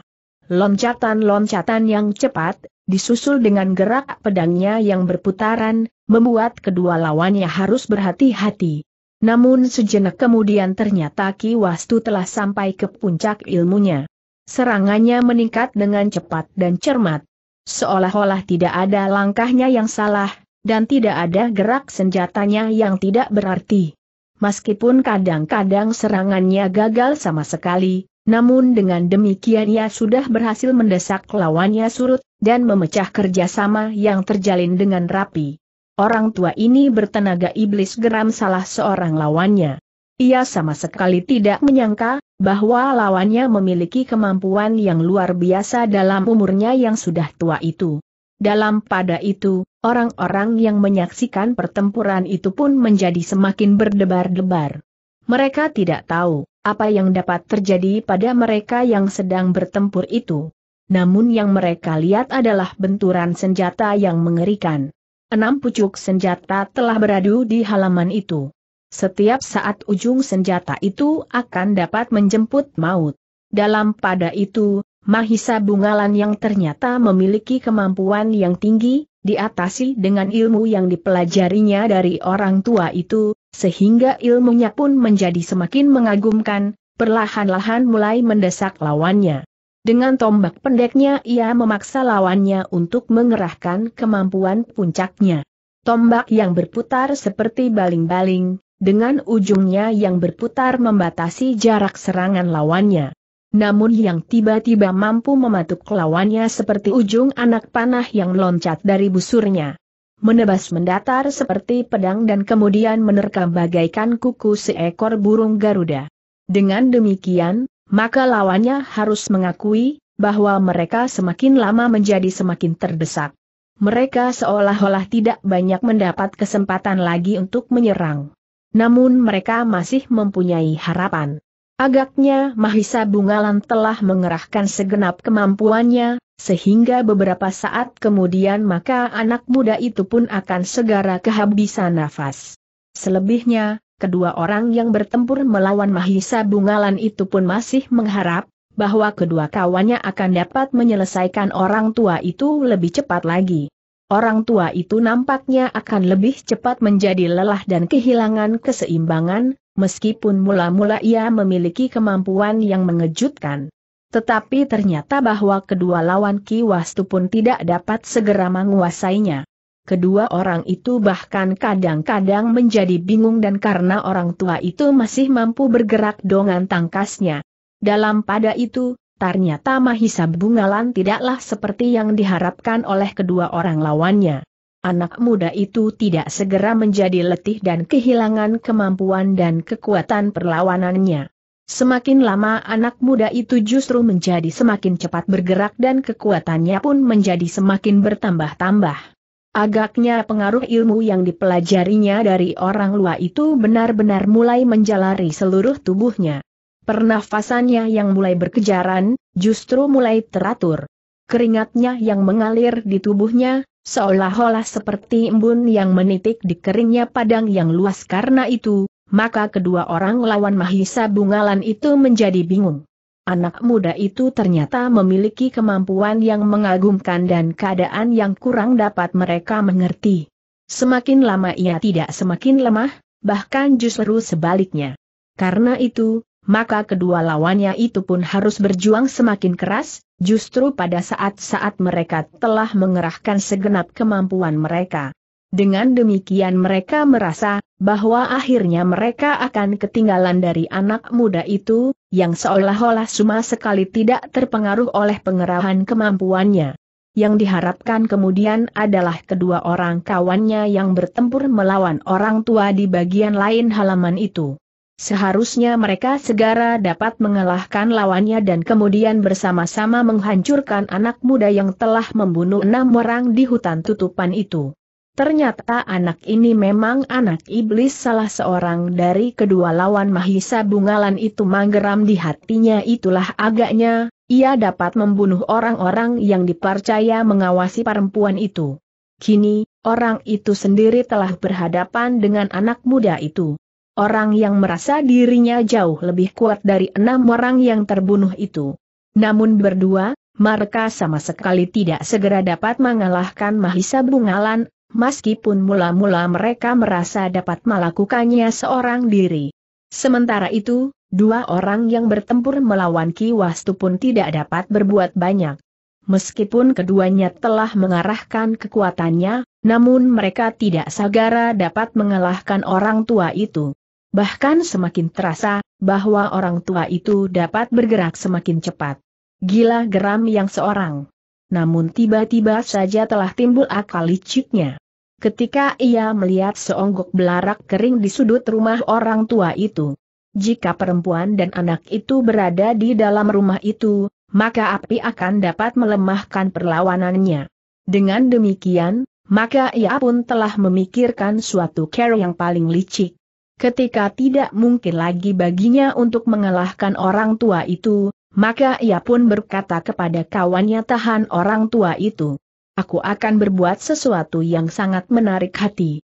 Kawannya termangu-mangu ia tidak segera mengerti apa yang dimaksud oleh kawannya. Namun ia pun menjawab. Lakukanlah. Aku akan membunuhnya seorang diri. Dalam pada itu, yang seorang itu pun segera meloncat meninggalkan Arna, Sementara kawannya telah menghentakkan segenap kemampuannya untuk menahan orang tua itu, agar ia tetap bertempur melawannya. Betapapun beratnya, namun dengan menghentakkan segenap kemampuannya, orang itu dapat bertahan beberapa saat. Sementara kawannya dengan tergesa-gesa telah mengambil titikan dari kantong ikat pinggangnya. Ternyata orang tua itu segera mengerti apa yang akan dilakukan oleh orang itu. Karena itu, maka hatinya pun telah berdesir. Sekejap ia menjadi bingung, sehingga dengan demikian maka ia telah kehilangan sikap yang mantap, karena di dalam rumah itu terdapat anak dan cucunya. Jika api benar-benar berkobar, maka kedua orang itu tentu akan hangus di dalamnya. Pada saat-saat yang demikian lawannya berusaha memanfaatkan keadaan. Meskipun ia hanya seorang diri, namun menghadapi orang tua yang mendapat goncangan. Perasaan itu justru hampir saja ia berhasil menghunjamkan senjatanya ke perut orang tua itu. Hanya karena gerak-gerak naluriah sajalah, maka orang tua itu sampat menghindar, sementara pikirannya masih tetap terikat pada seonggok belarak kering. Dalam pada itu, maka orang yang menyalakan api titikan itu telah mempergunakannya. Ketika api mulai merambat, maka emput itu pun telah dilemparkan ke dalam belarak kering yang teronggok di sudut rumah. Kau licik, gila teriak orang tua itu. Tetapi orang itu tidak menghiraukannya. Ketika ia sudah melemparkan emput yang barasap, maka ia pun tertawa sambil berkata jika anak dan cucumu bersembunyi di dalam rumah itu kakek tua, maka ia akan mati terbakar. Orang tua itu benar-benar kehilangan akal, sementara lawannya masih saja menyerangnya dengan ujung senjata. Dalam kebimbangan itulah, maka tiba-tiba saja terdengar Mahesa Bungalan berteriak kakek. Masih ada kesempatan. Jika kau lumpuhkan lawanmu, kau akan dapat memadamkan api itu. Kata-kata Mahisa Bungalan terputus karena lawannya berbareng telah menyerangnya dengan dahsyatnya. Tetapi kata-kata itu seakan-akan telah membangunkan kakek tua itu dari mimpinya yang buruk. Tiba-tiba saja ia sadar, bahwa lawannya tinggal seorang, karena yang seorang masih sibuk dengan apinya. Karena itulah, maka orang tua itu tidak dapat berpikir lebih panjang lagi. Ketika ia melihat asap yang semakin besar, sebelum api benar-benar berkorbar, maka kemarahannya tidak lagi dapat dikendalikan. Dalam pada itu, maka orang yang menyaksikan dari kejauhan menjadi semakin berdebar-debar. Jika api benar-benar berkobar, maka rumah itu akan menjadi musnah dan jika benar di dalam rumah itu bersembunyi anak parampuan dan cucunya, maka mereka pun akan menjadi arang pula jika keduanya tidak sempat melarikan diri keluar dari rumah yang akan dimakan api itu. Tetapi tidak seorang pun yang berani berbuat sesuatu. Mereka menjadi ketakutan melihat empat orang yang buas dan liar di halaman orang tua itu. Namun dalam pada itu, ternyata orang tua itu benar-benar telah sampai ke puncak kemarahannya. Ia tidak mau membiarkan rumahnya terbakar. Lebih daripada itu, anak dan cucunya yang berada di dalam sanggarnya. Karena itu, maka ia pun telah menghentakkan kemampuan puncaknya untuk mengalahkan lawannya.